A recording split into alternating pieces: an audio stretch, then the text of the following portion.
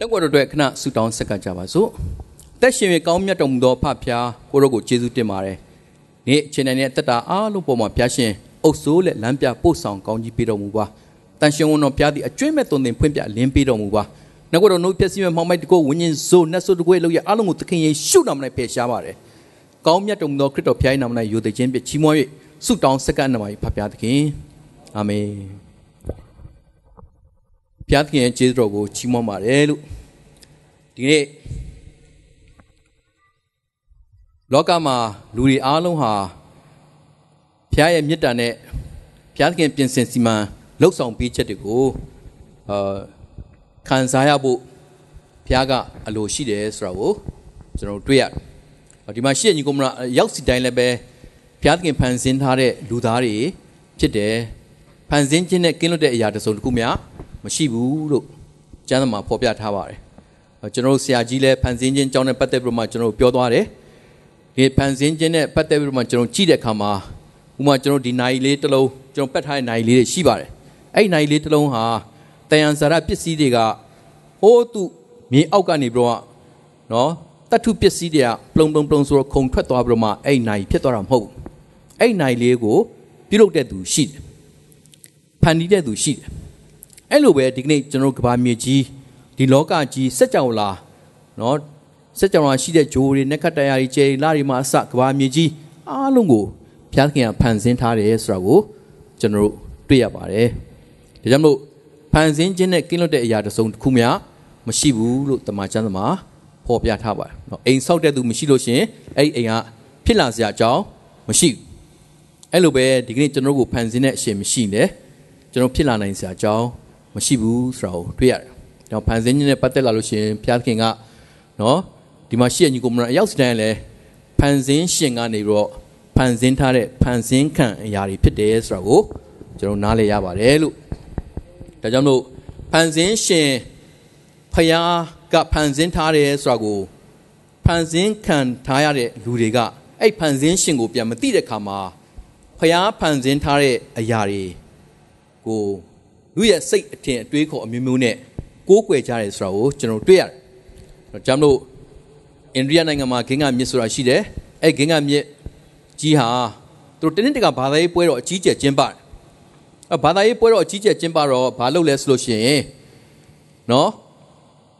ဒီမြစ်ကမ်းတဲ့ဘေးမှာပေါ့ဒီဂင်္ဂမြစ်ကြီးဟာငါတို့ရဲ့အသက်သခင်ယေရှုရှင်ဖြစ်တယ်။ဒါကြောင့်မလို့အဲ့ဒီအသက်သခင်ယေရှုရှင်ကိုငါတို့ကိုးကွယ်ရမယ်ဆိုတော့နော် ဘာလို့လဲအဲ့ဒီ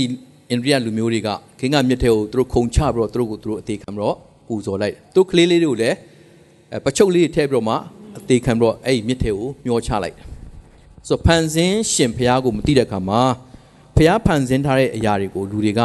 စိတ်အထင်အတွေးခေါ်အမျိုးမျိုးနဲ့ကိုးကွယ်ကြတယ်ဆိုတော့ကျွန်တော်တွေ့ရပါတယ်အဲ့တော့ဆိုတော့ကျွန်တော်လမ်းနှစ်လမ်းနော်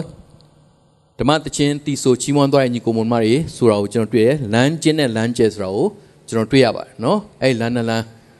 လမ်းကျဲကတော့ဝင်တဲ့သူတွေကများတယ်လမ်းကျင်းကြတော့ဝင်တဲ့သူတွေကနည်းတယ်မဿဲ9 73 74မှာဆိုရှင်ကျင်းတော်တကားကိုဝင်ကြလော့ပျက်စီးခြင်းနဲ့နော်ပျက်စီးခြင်းတို့ရောက်တော်လမ်းတဲ့တကားသည်ကျဲဝန်းသည်ဖြစ်၍ဝင်တော်သူတို့သည်များကြ၏အသက်ရှင်ခြင်းတို့ရောက်တော်လမ်းတဲ့တကားသည်အလွန်ကျဉ်းမြောင်းသည်ဖြစ်၍တွေ့ဝင်တော်သူတို့သည် နေကြ၏လမ်းကျက်မှာတော့လူတွေကပျော်ပါတယ်တက်မက်တယ်နော်မဆာ၍အမျိုးမျိုးလောကထဲမှာဒုစရိုက်ပြစ်တယ်မှာနစ်မိုးနေကြတယ်နောက်ပြီးမှဒီလောကကြီးထဲမှာသူတို့အသက်တာအသက်ရှင်နေလို့အသက်ရှင်နေကြဒုစရိုက်ပြစ်တယ်မှာသူတို့နစ်မိုးနေကြတယ်ဆိုတာတွေ့ရတယ်အဲ့တော့ဒီလောကကြီးထဲမှာပျော်ပါတက်မက်မှုနဲ့နော်ကာမဂုဏ်စည်းတဲ့မှာပျော်မွေးနေသူမြောက်များစွာဟာလမ်းကျဲထဲမှာပဲသွားနေကြတယ်ဆိုတာကိုကျွန်တော်တွေ့ရတယ်လမ်းကျင်းကိုတော့ဝင်တဲ့သူနဲတယ်အဲ့လမ်းကျင်းကတော့ကျင်းသောလမ်းနဲ့တကား နော်အလွန်ကျဉ်းမြောင်းတယ်တွေ့ဝင်တော့သောသူတို့သည်နဲတယ်လို့တမန်ကျမ်းသမားဖော်ပြထားတယ်။တော့ကမ္ဘာလောကမှာလူတွေမြောက်များစွာတန်ပေါင်းမြောက်များစွာရှိတယ်။ဒါပေမဲ့လို့လမ်းကျဲထဲမှာပဲပျော်နေရများတယ်။လမ်းကျင်းတဲ့ကိုဝင်တဲ့သူနဲတယ်။ဒါပေမဲ့လမ်းကျင်းတဲ့ကိုရောက်ဖို့ရန်တွေ့တော့သခင်ယေရှုကဝန်လေးပဲပြင်ပန်းသောသူပေါင်းတို့ငါထံသို့လာကြလို့ငါသည်ချမ်းသာပေးမယ်လို့သူကကြိုဆိုလျက်ရှိတယ်ဆိုတော့လူသားတိုင်းကိုကြိုဆိုလျက်ရှိလူသားတိုင်းကိုအဲ့ဒီအခွင့်ကိုပေးနေတယ်ဆိုတော့ကျွန်တော်တို့တွေ့ရပါတယ်။ အဲ့တော့အဲ့ဒီခွင့်ရင်းကိုပေးနေတာကိုတနည်းအားဖြင့်ဖခင်ရဲ့မေတ္တာနဲ့ကောင်းမြတ်ခြင်းကိုနားမလည်အောင်ဘာကအမောင်ဖုံးထားတယ်ဆိုရှင်စာရမဏကအမောင်ဖုံးထားတယ်ဆိုတာကိုတွေ့ရတယ်ဟုတ်ပြီအဲ့တော့မာနရဲ့လက်အောက်မှာပျက်စီးနေတဲ့လူသားတွေကိုကြည့်တဲ့အခါမှာစာရမဏကသူတို့ရဲ့ညံမျက်စိလင်းကိုကွယ်စေပြီးမှအမောင်ဖုံးထားတယ်သူတို့ဝိညာဉ်မျက်စိကိုပိတ်ထားတယ်ဒါကြောင့်အေဖက်နှစ်တစ်သုံးမှာသင်တို့ဒီအထက်ကလောကီတရားသို့လိုက်၍အာကာသကောင်းကင်တကိုအစိုးရသောမင်းတီဟုသော ညင်းဆန်သောသူတို့၌ပြုပြင်သောဝိညာဉ်၏လိုနှင့်ညီဒုစရိုက်ပြစ်တို့၌ကျင်လည်ကြ၍ဒုစရိုက်ပြစ်၌တည်လက်ရှိနေသောငါတို့အဲ့ဒုစရိုက်ပြစ်ထဲမှာကျင်လည်ပြီးတော့ပျော်ပါတတ်မဲ့ပြီးတော့မှအဲ့ဒုစရိုက်ပြစ်ထဲမှာနောက်ဆုံးသေသွားရတယ်အဲ့ဒါလောကထဲမှာပျော်ပါတတ်မဲ့ပြီးတော့မှဒုစရိုက်ပြစ်ထဲမှာမွေ့လျော်ပြီးတော့မှနောက်ဆုံးဒီဒုစရိုက်ပြစ်ထဲမှာသေနေတဲ့သူတွေဟာစာရမဏကသူတို့ကိုကြိုးဆွဲရကပြီးတော့ကကြိုးရုပ်တဲ့ဖွဲ့လောကကြီးထဲမှာအမျိုးမျိုးသူတို့ကခိုင်းနေဆိုတာကိုကျွန်တော်တွေ့ရတယ် အဲ့တော့ဝိညာဉ်မျက်စိကိုအမောင်ဖုံးပြီးတော့နော်ဒီစာရဏဆိုးဟာနော်ဒီဝိညာဉ်ကိုဖះကိုညှင်းပယ်ဖို့ရန်အတွက်ညှင်းဆန်ဖို့ရန်အတွက်သူဟာနီးမျိုးစုံနဲ့နော်လောကထဲမှာကကြိုးရုပ်ဖွဲကခိုင်းပြီးတော့မှနော်လှဲ့ပြားတယ်ဆိုတာအတွက်အဲ့ဒီလှဲ့ပြားတဲ့မာနရဲ့လမ်းဆုံးဟာဗျာဒိတ်နှစ်20 30မှာရှိတယ်သူတို့ကိုလှဲ့ပြားသောမာနကိုလည်းကတ်နဲ့ရောသောမိအိုင်ထက်သို့ချပစ်လင်သူတို့သည်ညဉ့်ညံ့ပြတ်ကဘာဆက်ပြင်းစွာသော မိငဲအိမ်မှာခံရမယ်လို့တမန်ကျမ်းစာမှာဖော်ပြထားတဲ့ဆိုတာကိုတွေ့ရတယ်။ဒါကြောင့်ချစ်တော်ညီကိုမွန်မတို့ဒီကနေ့စာရမဏေရဲ့လက်အောက်မှာပျက်စီးနေတဲ့သူတွေမြောက်များစွာရှိတယ်။ပျက်စီးခြင်းလမ်းကိုသွားနေတဲ့လမ်းကျဲထဲမှာရှောက်နေတဲ့သူတွေလည်းမြောက်များစွာရှိတယ်ဆိုတာကိုပျော်ပါတက်မှုမှုထဲမှာမြောက်များစွာရှိတယ်ဆိုတာကိုတွေ့ရတယ်။အဲ့တော့စာရမဏေရဲ့လက်အောက်မှာပျက်စီးနေတဲ့လူရဲ့နှလုံးသားအကြောင်းကိုကျွန်တော်ဆက်ပြမှာကျွန်တော်ကြည့်အောင်။အဲ့ဒီနှလုံးသားနော်ဘုရားသခင်ရှေ့မှာ နော်ကျွန်တော်ဓမ္မရိုက်ကြည့်အောင်ဒီမှာရှင့်ညီကူမောင်အားလုံးကိုကျွန်တော်ဒီနေ့ဓမ္မရိုက်ကြည့်အောင်ကျွန်တော်စိတ်နှလုံးရဲ့အခြေအနေဘယ်လိုရှိတယ်ဆိုတာကိုတမန်ကျမ်းစာကနေဓမ္မရိုက်ကြည့်တဲ့အခါမှာကိုယ့်ဘက်ကိုယ်ဝင်ကျွန်တော်မြင်ရတယ်လူစိတ်နှလုံးရဲ့အခြေအနေဟာနော်ယေရမိ7ခွန်9မှာဗာတွေ့ရလဲဆိုလို့ရှင်စိတ်နှလုံးဒီခတ်သိမ်းသောအရာထက်ဆင်းလဲတယ်အလွန်ယိုယင်းသောသဘောရှိတယ်လူစိတ်နှလုံးသဘောကိုဘယ်သို့သိနိုင်စိတ်နှလုံးအလင်းနှစ်ထက်မြန်တယ်နော်အလင်းနှစ်ထက်တောင်မှမြန်တယ်ဥမာကျွန်တော်စိတ်ကဒီမှာရှိတယ်ကျွန်တော်စိတ်တွေကဒီမှာရှိတယ်နော်ချက်ချင်း လက်တစ်ပြက်ဆိုသလိုစိတ်နှလုံးကအင်ကိုရောက်နိုင်တယ်မြန်မာပြည်ကိုရောက်နိုင်တယ်နော်နီးမျိုးစုံနဲ့နေရာအနှံ့ကိုကျွန်တော်ရောက်နိုင်တယ်လူစိတ်နှလုံးကအလင်းနှစ်တဲ့ညံနေဆိုတော့တွေ့ရအဲ့တော့တမန်ကျမ်းစာအပြည့်နော်လူစိတ်နှလုံးအခြေကိုကျွန်တော်ကဓမ္မရိုက်ကြည့်တဲ့အခါမှာနော်ဘာတွေ့ရလဲဆိုတော့ကြည့်လူစိတ်နှလုံးကအမောင်ဖုံးထားတယ်စရမဏကဒီအော်တဘစိတ်ဆိုတဲ့နော်ဒီအော်တဘစိတ်ကိုအမောင်ဖုံးထားတဲ့အခါမှာဝိညာဉ်မျက်စိအလင်းကွယ်နေပြီးတော့မှ ဒီသူ့ရဲ့အသက်တာဟာအမောင်ဖုံးလွှမ်းနေတဲ့အတွက်ကြောင့်မလို့လူစိတ်နှလုံးမှာဖြစ်ပျက်နေတဲ့နော်တရိတ်ဆန်ကဲ့သို့သောသဘောတဘာဝတွေကိုကျွန်တော်မြင်ရတယ်အဲ့ဒါကဥမာဝက်နော်ဟိုနေ့ဆရာမန်တို့များပြောတယ်စားလိုက်အိတ်လိုက်နော်စားလိုက်အိတ်လိုက်နဲ့ကာမုံစီးရမယ်ဘာလုပ်နေလဲပျော်မွေ့နေတယ်ဆိုတာကိုတွေ့ရတယ်တဖြည်းဖြည်းနဲ့နောက်ဆုံးပေါ်စားဖို့ပဲဆိုတာတွေ့ရတယ်နော်ယောက်ျားပြင်းရင်ဘာဖြစ်လဲကြောခင်မိန်းမပြင်းရင် ခြေစင်းဆိုစားလိုက်အိတ်လိုက်နဲ့ကာမုံစီးစိတ်မှာပဲပျော်မွေ့ပြီးတော့လောကကြီးမှာလူတွေတော်တော်များပါလေအသက်ရှင်ခြင်းရတယ်ဆိုတာကိုကျွန်တော်တွေ့ရတယ်ကြားကြားရဲ့သဘောတရားဘာလဲကျမ်းတမ်းနဲ့ဆိုတာတွေ့ရအနိုင်ကျင့်တယ်နော်သူများကိုကြိုက်ဖြတ်စားတော့ပွေရန်အတွက် तू ကအများတန်းချောင်းမြောင်းနေဆိုတာအသားစားတတော်ပေါ့အနိုင်ကျင့်တဲ့နှလုံးသားကိုကျွန်တော်တွေ့ရတယ်မွေဆိုတာကတော့လှည့်စားတယ်ရှာနာခွနဲ့နော်လိန်လေတယ်လှည့်ပြတယ်လှည့်စားတယ်ဒါသူ့ရဲ့နော်လူရဲ့နှလုံးသားထဲမှာရှိနေတဲ့ ဒီစိုးညစ်တဲ့သဘောတဘာဝတွေ trace and သဘောတဘာဝတွေကိုကျွန်တော်တို့ပါလေတွေ့ရတယ်ဒါလူတိုင်းမှာဒါတွေဖြစ်ပြနေဒါတွေရှိနေတယ်နော်လူစိတ်နှွဲအခြေအနေကဘုရားသခင်အရှိမဆိုလို့ရှိရင်လှည့်စားတယ်ကြမ်းတမ်းတယ်နော်ကာမဂုဏ်လွန်ကျူးတယ်မဆာ၍နော်လိတ်ကြည့်လိုက်အတ္တကြည့်တယ်ကိုယ့်ဘက်ကိုရက်တယ်ဟာလားဒီနေ့အဖြစ်ကိုယ့်အတွက်ပဲကိုကြည့်တယ်ကိုဂျိုးအတွက်ပဲ तू ကကြည့်တယ်လိတ်ရဲ့သဘောတဘာဝကိုကျွန်တော်တွေ့ရတယ်စိတ်ဆိုတာကတော့ နော်အစားတောက်တတ်မဲ့တဲ့အသွေးသားဆန္ဒနော်ဒီနေ့အဖြစ်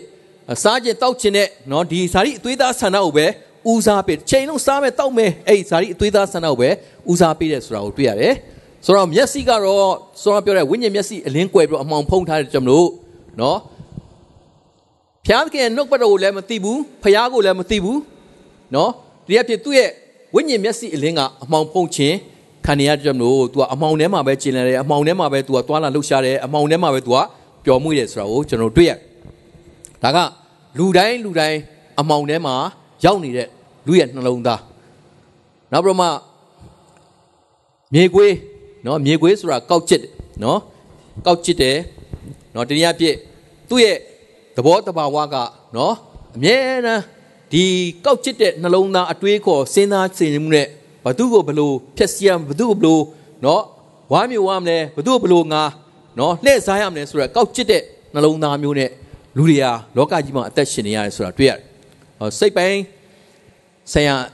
အခြေအနေတွေကိုပြန်ကြည့်မယ်ဆိုလို့ရှိရင်ဘဝအစ်စ်တန်းတော့အမြင့်ကြီးမှနေရတယ်ပရာဒိုကားကြီးတွေစက်ကားကြီးတွေဟာလာတိုက်ကြီးတွေသိန်း3000တန်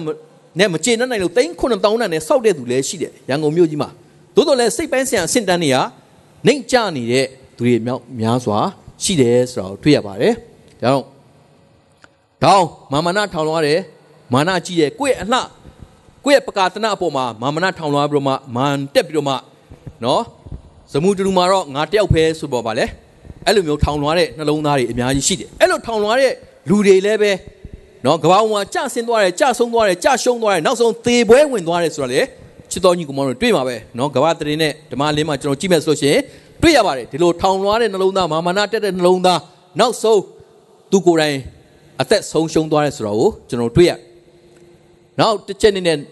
ဒီနတ်ဆိုးကတော့နော်လူရဲ့ဝိညာဉ်မျက်စိကိုအမောင်ဖုတ်ထားတယ်အလင်းကိုကွယ်စီတယ်အော်တပတ်စိတ်ကိုသူကအမောင်ဖုံးထားတယ်ဒါမှမဟုတ်လူတွေဟာအမှန်တရားနဲ့တမန်တရားကိုသူတို့နားမလည်တော့မနဲ့ပိုင်းခြားတော့တဲ့ပဲနဲ့ဒီဖခင်ရဲ့နှုတ်ကတော်လည်းမသိဘူးဖခင်ရဲ့နှုတ်ကတော်ကလည်းဖခင်ရဲ့စကားကိုလည်းသူတို့မသိဘူးဖခင်ကိုလည်းကြောခိုင်းနေတရားကိုလည်း ကြောခိုင်းပြီးတော့မှအသက်ရှင်နေကြတယ်နော်ငါလှေငါတို့ဘကိုးရောက်ဆိုတော့လှုပ်ချင်ဟာလှုပ်အသက်ရှင်တို့အသက်ရှင်သွားခြင်းတို့သွားနေခြင်းတို့နေဆိုတော့မှအသက်ရှင်နေကြတယ်ဆိုတာကိုကျွန်တော်တွေ့ရဒါကျွန်တော်ရဲ့စိတ်နှလုံးကိုကျွန်တော်ဓမ္မရိုက်ကြည့်တဲ့အခါမှာကျွန်တော်စိတ်လုံးအခြေအနေကအဲ့ဒီအတိုင်းပဲကျွန်တော်အမှန်တိုင်းကျွန်တော်မြင်ရတယ်ဆိုတာကိုတမန်ကျမ်းစာကနေကျွန်တော်ကိုဖော်ပြထားပါတယ်အဲ့တော့တမန်ကျမ်းစာတအုပ်လုံးရဲ့အချုပ်ကိုကျွန်တော်ကြည့်တဲ့အခါမှာဒီတရားသုံးမျိုးဆိုတာရှိပါတယ်ဆိုတော့အဲ့တရားသုံးမျိုးကိုဒီမှာရှင်းညီကိုမလို့အားလုံး နော်ဂဂနတိသွားမယ်ဆိုလို့ရှိရင်ကျွန်တော်အားလုံးတေချာပိုင်းခြားနိုင်မယ်ဆိုတာကိုနားလည်ရတယ်နော်တရားသုံးမျိုးအကြောင်း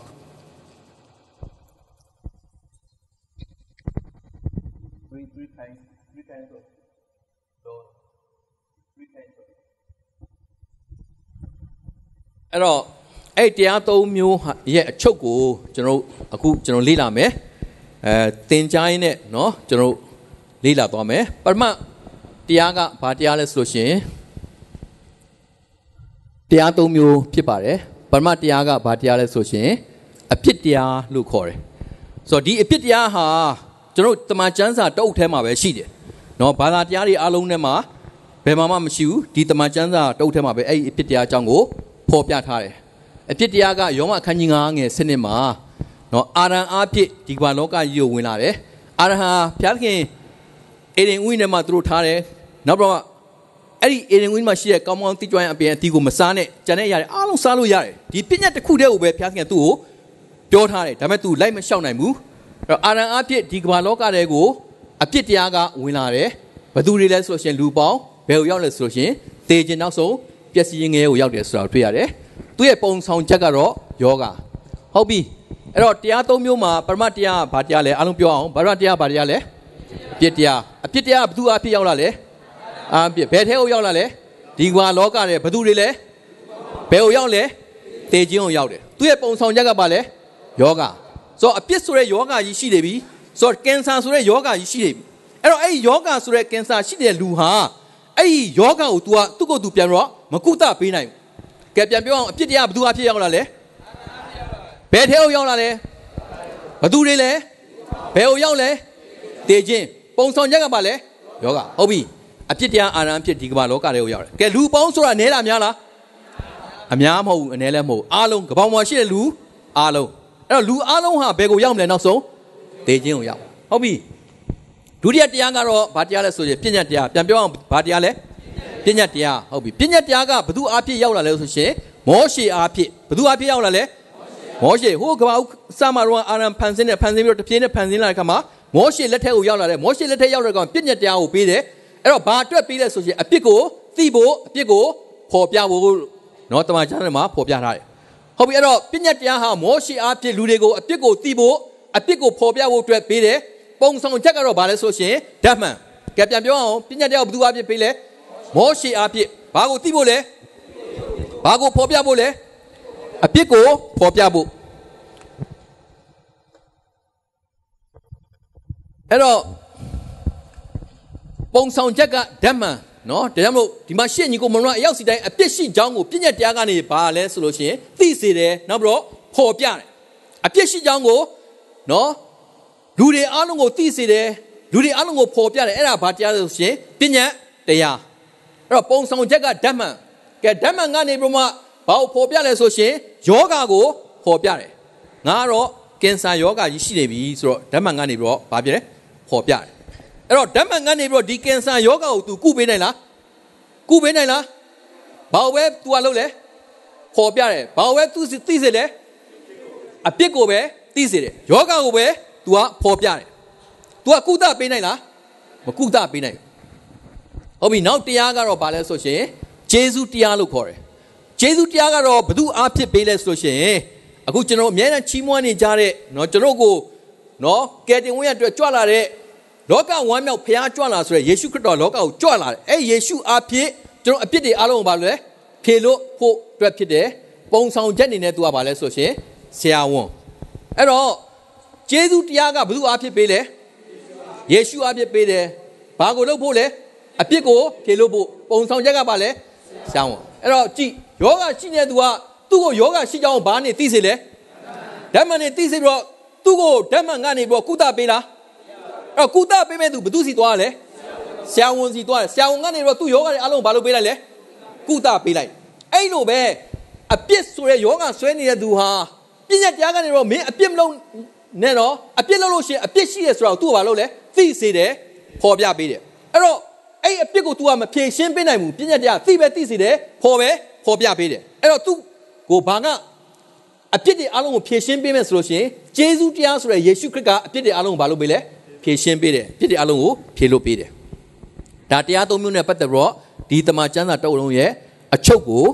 ဖော်ပြထားခြင်းဖြစ်တယ်ဟုတ်ပြီနံပါတ်1ကဘာတရားလဲနံပါတ်2ကဘာတရားလဲနံပါတ်3ကဘာတရားလဲဟုတ်ပြီအပြစ်တရားရဲ့ပုံဆောင်ချက်ကဘာလဲယောဂပြည့်ညတ်တရားရဲ့ပုံဆောင်ချက်ပါလဲဂျေဇုတရားရဲ့ပုံဆောင်ချက်ပါလဲဆရာဟုတ်ပြီအပြစ်ဆိုရဲယောဂဆွဲနေသူကတနေ့ဘယ်ရောက်မလဲတေခြင်းရောက်တော့ဘယ်ကိုသွားမလဲငရဲကိုသွားမယ် အဲ့တော့အပြစ်ရှိနေပြီဆိုတာကိုသူ့ကိုဘာနဲ့ဖော်ပြလဲပညာတရားနေပြီးတော့ဖော်ပြတယ်ပညာတရားနေသူ့အပြစ်ရှိအောင်ဘာလုပ်လဲသိစေတယ်ဖော်ပြပေးတယ်အဲ့တော့ပညာတရားနေပြီးတော့သူ့အပြစ်ကိုဖြေရှင်းပေးနိုင်လားမင်းအပြစ်မလုပ်နဲ့အပြစ်လုပ်လို့ရှိရင်ဘာဖြစ်လဲအပြစ်ရှိတယ်ဆိုတော့ तू ကဘာလုပ်လဲသိစေတယ်ဖော်ပြပေးဒါပေမဲ့အပြစ်ကိုသူတို့ဖြေရှင်းပေးနိုင်လားအဲ့တော့အပြစ်ကိုဖြေရှင်းပေးနေတဲ့တရားကဘာတရားလဲလူအားဖြင့်ဘယ်သူလဲယေရှုအဲ့တော့ယေရှုကဘာလုပ်ပေးလဲ အပြစ်ကိုဖြေလို့ပေးတယ်အပြစ်တွေအလုံးကိုဖြေရှင်းပေးတယ်ဟုတ်ပြီအဲ့ဒါကပုံဆောင်ချက်အနေနဲ့ကြည့်မယ်ဆိုလို့ရှိရင်ရှင်းရှင်းလေးပဲဆိုတာကိုတွေ့ရတယ်ဟုတ်ပြီအဲ့တော့တရားသုံးမျိုးရဲ့အချုပ်နော်အပြစ်တရားပြည့်ညတ်တရားဂျေဇုတရားဆိုတော့ဒီတရားသုံးမျိုးရှိတယ်အဲ့တော့ဒီတရားသုံးမျိုးကိုကျွန်တော်အကျယ်ပြန်ပြီးတော့ကြည့်အောင်ပရမတ်တရားပရမတ်တရားကိုကျွန်တော်ပြန်ကြည့်အောင်အပြစ်တရားနော်ဒီတရားသုံးပါးမှာပရမတ်တရားကအပြစ်တရားနော်အဲ့တော့တိတိခန်းကြီးနဲ့ငယ်လေးမှာအလုံး ဖတ်ရအောင်ဘုရားသခင်ရဲ့အလိုတော်ကလူပေါင်းကယ်တင်ရင်ရောက်ပြီးတမန်တရားကိုသိဖို့ဖြစ်တယ်ဆိုတော့ဘုရားရဲ့အလိုတော်ကပါလဲလူပေါင်းကယ်တင်ရင်ရောက်ဖို့နောက်တော့ဗာသိဖို့လဲတမန်တရားကိုသိဖို့ဘုရားရဲ့ပြင်ဆင်စီမံလှုပ်ဆောင်ပေးချက်ဘုရားရဲ့အလိုတော်ရဲ့အကြံစီကိုသိဖို့နော်ဘုရားရဲ့အလိုတော်ဖြစ်တယ်ဟုတ်ပြီနောက်တစ်ချက်ကျွန်တော်ကြည့်အောင်လူတိုင်းကယ်တင်ရင်ရောက်နိုင်မလားပြန်စဉ်းစားကြည့်လူတိုင်းကယ်တင်ရင်ရနိုင်လားရောက်နိုင်လား မရောက်နိုင်ဘူးအဲ့တော့ဘသူတွေရောက်နိုင်လဲနော်ဘယ်လိုရောက်နိုင်လဲဆိုတာကိုကျွန်တော်နီလန်းတွေကိုပြန်ပြီးတော့ကြည့်မယ်ဘသူတွေကနော်ကယ်ရင်ရတော့ဘသူတွေကနော်ကယ်ရင်မရလဲဆိုတာကိုဘုရားသခင်ကကျမ်းစာတွေကနေကျွန်တော်ပြန်ကြည့်မဿဲခန်းကြီးခုခုနှစ်ငယ်21 23မှာနော်ဆုံးမဩရာပေးတော်သူနတ်ဆိုးနှင်ထုတ်သူတကိုးများစွာပြတ်တော်သူတွေကိုခရစ်တော်ကဘာပြောလဲဆိုရှင်ငါထံကနေ ဖယ်ကြလောလို့သခင်ရှုကပြောလိုက်တယ်နော်တနည်းအားဖြင့်သူတို့အမှုတော်ဆောင်နေတဲ့သူတွေတနည်းအားဖြင့်ပြောမယ်ဆိုဆုံးမဩရာပေးတဲ့သူနတ်ဆိုးတွေကိုနှင်ထုတ်တဲ့တကိုးတွေမြောက်များစွာပြတဲ့သူတွေဒါပေမဲ့ဒီလူတွေဟာနော်တကိုးနွယ်တဲ့ခဏကိုပဲသူတို့လုံနိုင်တယ်ဒါပေမဲ့သူတို့ဘာမသိဘူးလဲဆိုရှင်ခရစ်တော်ကိုသိကျွမ်းခြင်းမရှိဘူးအော်ဖះအလုပ်လုပ်တဲ့သူတွေအမှုတော်ဆောင်တွေကောင်းတာလုပ်တဲ့သူတွေပြည့်တဲ့ဘာကြောင့်ဒီလိုပြရတာလဲခရစ်တော်အကြောင်းကိုပဲသူတို့သိတော့ပါလေခရစ်တော်နဲ့သိကျွမ်းမှုမရှိဘူးခရ စ်ရစ်တော်တည်းဟူသောပုဂ္ဂိုလ်တော်မြတ်နဲ့သူတို့သိကျွမ်းခြင်းမရှိခရစ်တော်သူတို့အတွက်ဘာလုပ်ပေးလဲသူတို့ဘာခံစားလဲဆိုတာသူတို့မသိခရစ်တော်အကြောင်းအကြောင်းတော့ပဲသူတို့သိတာနော်ခရစ်တော်ဆိုတဲ့ပုဂ္ဂိုလ်တော်မြတ်ကိုသူတို့မသိဘူးဆိုတာကိုတွေ့ရတယ်ဟုတ်ပြီခရစ်တော်ကိုသိကျွမ်းဖို့ကရင်ရောက်ဖို့အဓိကချက်၃ချက်ရှိတယ်အဲ့ဒါကတော့စောပြောတဲ့တရား၃ပါးရဲ့နော်အကျယ်ကိုကျွန်တော်ပြန်တော့ရှင်းပြမယ်ကဲပထမတရားပါတရားလည်းပြန်ပြောအောင်အပြစ်တရားဟုတ်ပြီနော်အပြစ်တရားအဲ့တော့ အဲ့အပြစ်တရားကအပြစ်ဆိုတာဘာလဲလို့ပြန်ကြည့်တဲ့အခါမှာတရော၃လေးမှာဘာဖော်ပြတာလဲပြည့်ညတ်တော်ကိုလွန်ကျူးခြင်းပြည့်ညတ်တော်ဆိုတာဘုရားရဲ့စကားကိုပါပဲလေနားမထောင်ဘုရားစကားကိုယုံလားဘုရားသခင်အာရနဲ့အေဝါကိုပြောတယ်ကောင်းကောင်းသိရကျွမ်းရအပြင်အသီးကိုမစားနဲ့စားလို့ရှိရင်သေမယ်လို့ပြောလားမပြောလားပြောတယ်တိုးတော့သူတို့ဘုရားစကားကိုနားထောင်လားဒါကြောင့်ပြည့်ညတ်တော်ကိုသူလွန်ကျူးလားမလွန်ကျူးလားအေးဘုရားစကားကိုနားမထောင်နဲ့ဆိုတာအပြစ်ဟုတ်လားမဟုတ်လားဥမာကျွန်တော်မိဘစကားကိုနားမထောင်လို့ရှိရင်အပြစ်ရှိတာမရှိလား အဲ့လိုပဲဘုရားစကားကိုနားမထောင်တဲ့ကပြည့်ညတ်တော်ကိုလွန်ကျူးခြင်းအဲ့ဒါအပြစ်လို့ခေါ်တယ်ဟုတ်ပြီအပြစ်อ่ะဘသူအပြစ်လောကထဲကိုရောက်လာလဲအာရန်အပြစ်ဟုတ်ပြီဆိုတော့ကျွန်တော်ဖော်ပြသွားတယ်အာရန်အပြစ်ဒီကမ္ဘာလောကထဲဝင်လာတယ်လူအပေါင်းကဘာဖြစ်လဲအပြစ်ရှိတယ်ဘယ်ကိုရောက်မလဲတေခြင်းကိုရောက်မှာနော်ကဲအပြစ်တရားဒီလောကထဲကိုရောက်လို့တော့ဘာဖြစ်သွားလဲအာရန်အပြစ်တေခြင်းများဝင်လာလားမဝင်လာလားလူအပေါင်းကအပြစ်ရှိတာမရှိလားဒါဘယ်ကိုရောက်လဲကဲအဒီကအပြစ်အပြစ်ဘယ်နှမျိုးရှိလဲဆိုတာကိုဒီမှာကျွန်တော်ကြည့်အောင်ပထမတိက ဗီဇအပြစ်အဲ့ဒါကဘာပြစ်လဲဆိုတော့မွေးရပါအပြစ်လို့ခေါ်တယ်ကဲပထမပြစ်ကဘာပြစ်လဲအဲ့ဒီပြစ်ကဘာလဲမွေးရပါအပြစ်တနည်းအားဖြင့်ပြောမယ်မွေးရပါအပြစ်ဆိုတာဖယားကိုပြစ်မှားသောအပြစ်ဘာအပြစ်လဲဖယားကိုပြစ်မှားသောအပြစ်ဗီဇအပြစ်နော်အဲ့ဒါဖယားကိုပြစ်မှားသောအပြစ်ဆိုတာဘာလဲအာရနဲ့အေဝါကဖယားစကားကိုနားထောင်လားဖယားစကားကိုယုံလားမစားနဲ့စားလို့ရှင်သေမယ်ဆိုတော့ဖယားစကားကိုသူတို့ယုံလားမယုံဘူးအဲ့ဒါဗီဇအပြစ်နော်မွေးရပါအပြစ်လို့ခေါ်တယ်နံပါတ်1ဒုစရိုက်အပြစ်လို့ခေါ်တယ်ဘာအပြစ်လို့ခေါ်လဲ ဒုစရိုက်အပြစ်ဟုတ်ပြီအဲ့ဒီအပြစ်ကဘာအပြစ်လဲကျူးလို့နဲ့အပြစ်ဆိုတာလူလူချင်းတယောက်နဲ့တယောက်ပြစ်မှားတာလူအသက်ကိုတတ်တာသူ့ဥစ္စာခိုးတာသူများသားများပြစ်မှားတာဟုတ်လားဒေါသထွက်တာမနာလိုတာစိတ်ဆိုးတာလှည့်စားတာဒါတွေကဘာလဲကျူးလို့နဲ့အပြစ်လူလူချင်းပြစ်မှားတဲ့အပြစ်ဟုတ်ပြီအပြစ်နှစ်မျိုးရှိတယ်ပထမတစ်မျိုးကဘာလဲဗီဇအပြစ်မွေးရပါအပြစ်ဒုတိယတစ်မျိုးကဘာလဲဒုတိယအပြစ်ကျူးလို့နဲ့အပြစ်လူလူချင်းတယောက်တယောက်ပြစ်မှားတဲ့အပြစ်ဟုတ်ပြီအဲ့တော့ဒီဒုစရိုက်အပြစ်အကြောင်းကိုနော်အများအားဖြင့် ကျွန်တော်သိပြီးဖြစ်တယ်နော်သူ့ဥစ္စာခိုးတယ်သူ့တက်ကိုတတ်တယ်နော်သူများသားများပြစ်မှားတယ်မင်းမလို့နဲ့မှားယွင်းတယ်မှားဆိုင်လောဘလွန်ကျူးတယ်နော်လိန်လည်းလှည့်စားတယ်လှည့်ပြားတယ်ဒေါသထွက်တယ်နော်အဲ့ဒါကဲဥမာဒီမှာကြည့်ကျွန်တော်ဒီမှာဖော်ပြထားတယ်သူများပစ္စည်းခိုးတာသူများအသက်တတ်တာနော်သူများသားများပြစ်မှားတာဒါကိုယောမခန်းကြီး1ငယ်19 29 31မှာကျွန်တော်တွေ့ရတယ်အဲ့တော့လူတော်တော်များများမသိတဲ့အပြစ်ကတော့ဘာပြစ်လဲဆိုရှင်အဲ့ဒီဗီဇအပြစ်မွေးရပါအပြစ်အဲ့ဒီဗီဇအပြစ်မွေးရပါအပြစ်က ဘယ်ကနေလာလဲဆိုတာကိုသေချာကျွန်တော်သိဖို့ဖြစ်တယ်အဲ့တော့အဲ့ဒီအပြစ်အကြောင်းကိုမသိတဲ့အခါမှာကျွန်တော်ကဘာစဉ်းစားလဲဆိုတော့ငါတို့ကောင်းတာလို့လို့ရှင်တော့ဘာလို့လဲကောင်းရရောက်မှာပဲလို့ထင်လားမထင်ဘူးလားဟုတ်တယ်ထင်တယ်လောကသားတွေမပြောနဲ့ကျွန်တော်ခရိယန်နေတော်မှဘာမသိညာမသိနဲ့နော်သူတို့ဘာပြောနေဆိုရင်ငါတို့ကောင်းတာလို့ရင်ကောင်းရရောက်မှာပဲလို့ပြောလားမပြောလားဟာငါတို့လူငွေထင်းတာကောင်းတာလုပ်တာပဲငါတို့ဖျားရောက်တက်တာကောင်းတာလုပ်တာပဲလို့ပြောလားမပြောလား အေးအဲ့လိုမျိုးဖြစ်နေတယ်ဆိုတာကိုတွေ့ရတယ်ကျွန်တော်နောက်တစ်ခုဆက်သွားရအောင်အော်ဒီမှာအပြစ်တရားရဲ့အကျယ်ကိုပြန်ကြည့်လိုက်မယ်ဟုတ်ပြီအဲ့တော့ဒီမှာပရောက်ဆုံးဆန္ဒ51အငယ်9မှာလိုက်ဆိုအောင်ကျွန်ုပ်ဒီမွေးစားကပင်အပြစ်ပါလက်ရှိပါ၏အမိဝမ်းထဲမှာဗဒိတ်တရေယူစေမေအပြစ်ဆွဲပါ၏ကဲဆန္ဒဆရာဒါဝိမင်းကြီးကကျွန်တော်ဟာဟိုးမွေးကလေးကအပြစ်ပါလာတယ်တဲ့ အမိဝမ်းထဲမှာဗဒိတ်တရေယူကလေးကအပြစ်ဆွဲပါတယ်တဲ့ကဲသူဘာအပြစ်လုပ်လို့လဲအပြစ်လုပ်တာတွေ့လားမတွေ့ဘူးဒါပေမဲ့ तू ဘာကြောင့်အဲ့လိုပြောရလဲဆိုရှင်သူ့ရဲ့နောက်ကျောင်းကိုပြန်ကြည့်လိုက် तू ဘယ်ကနေဆင်းသက်လာလဲအာရန်ကနေဆင်းသက်လာအာရန်ကဘယ်သူ့ကိုပြင်မာလဲဖယားကိုပြင်မာတာဖယားစကားကိုသူတို့ယုံလားဖယားစကားကိုနားထောင်လားနားမထောင်တဲ့ကြောင့်အပြစ်ရှိတာမရှိလားတော့အာရန်နဲ့အေးဝါကနေဆင်းသက်လာတဲ့လူသားမျိုးစင်တဲ့အလုံးကအပြစ်သားတွေဖြစ်လာမဖြစ်ဘူးလားအာရန်အပြစ်အပြစ်သားဖြစ်လာမဖြစ်ဘူးလား အာရန်အပြစ်အပြစ်သားဖြစ်တယ်ဖယားကိုပြင်မာတော့အပြစ်ဟုတ်ပြီအဲ့ဒီကနေပြီးမှကြီးပြင်းလာတယ်မွေးဖွားလာတယ်နော်နောက်တော့တဖြည်းဖြည်းနဲ့မလုပ်လာလဲဆိုရှင်ဒုစရိုက်အပြစ်ကိုလုပ်လာတယ်လူချင်းတယောက်တစ်ယောက်ပြင်မာတယ်တယောက်တစ်ယောက်ထိုးတယ်လက်သီးနဲ့ထိုးတယ်တယောက်တစ်ယောက်လူသက်ကိုတတ်တယ်နော်ဒီအပြစ်လုပ်နည်းတင်တန်းကြောင်းကိုလူတွေကဖွင့်ထားလားမြန်မာပြည်မှာအပြစ်လုပ်နည်းတင်ကြောင်းဖွင့်ထားလားအဲမင်းကဆရာပြောသွားပြီဒါကြောင့်မို့ အပြစ်လုပ်နည်းတင်တန်းကြောင်းမဖွင့်ထားဘဲနဲ့လူကဘာကြောင့်အပြစ်လုပ်တာလဲဆိုရှင်ငโกတဲကအပြစ်ဗီဇပါလာလားပါလာလားဖယားစကားကိုနားမထောင်နဲ့ဖယားစကားကိုမယုံနဲ့အဲ့ဒီဗီဇအပြစ်ကြီးပါလာလားပါလာလားမွေးရပါအပြစ်ကြီးပါလာကြောင့်လူကအော်တိုမက်အပြစ်ကိုလုတ်တယ်လားမလုတ်တော့ဘူးလား ဒါကြောင့်မိခင်ဝမ်းထဲကနေထွက်ကြတဲ့ကမိခင်ဝမ်းထဲကတော့မထွက်သေးဘူးမိခင်ဝမ်းထဲမှာဘာလုပ်နေလဲ तू ဆန္ဒပြလားမပြဘူးလားခြေထောက်နဲ့ကန်လားမကန်ဘူးလားတွန်းထိုးရုံးကန်လားမရုံးကန်ဘူးလားရုံးကန်တယ်တကယ်ထွက်လာတယ်နည်းနည်းသုံးနှစ်ရောက်လာတယ် နောက်ထပ်သူ့မောင်လေးတယောက်မွေးလာတယ်မိခင်ရဲ့ရင်ဝင်ထဲမှာရောက်နေတယ်အဲ့တော့ဘာလုပ်လဲဆိုရှင်မနာလိုတဲ့စိတ်နဲ့ရင်ဝင်ထဲကနေပြီးတော့သူ့အမေရဲ့ရင်ဝင်ထဲကနေသူ့မောင်လေးကိုဘာလုပ်လဲအတင်းတိုးဖိခွေဖယ်ပြီးတော့ဘာလုပ်လဲရင်ဝင်ထဲကိုအတင်းတိုးနေအဲ့ဒါဘာစိတ်လဲမနာလိုတဲ့စိတ်အဲ့ဒါတင်ပေးစရာလို့လားတင်ပေးစရာမလို့နော်အဲ့တော့နောက်ဆုံးအပြစ်သားဖြစ်တဲ့ကြောင့်မလို့တပြည့်ပြည့်နဲ့အရွယ်ရောက်လာတဲ့ကောင်အပြစ်တရားအခသေခြင်းဆိုရက်နောက်ဆုံးပျက်စီးရင်ငယ်ကိုသွားမယ်ဆိုတာကိုတွေ့ရတယ်နော်ဒါကြောင့်မို့ ဒီဖျားကိုပြစ်မှားတဲ့အပြစ်မွေးရပါဗီဇအပြစ်ကြောင့်လူဟာဒုစရိုက်အပြစ်ကိုလုပ်တယ်နော်ဒါဒုစရိုက်အပြစ်လုပ်လို့အပြစ်သားဖြစ်တာမဟုတ်ဘူးအပြစ်သားဖြစ်လို့ဒုစရိုက်အပြစ်ကိုလုပ်တာဆိုတာကိုကျွန်တော်တို့တွေ့ရတယ်ဆက်ကြည့်အောင်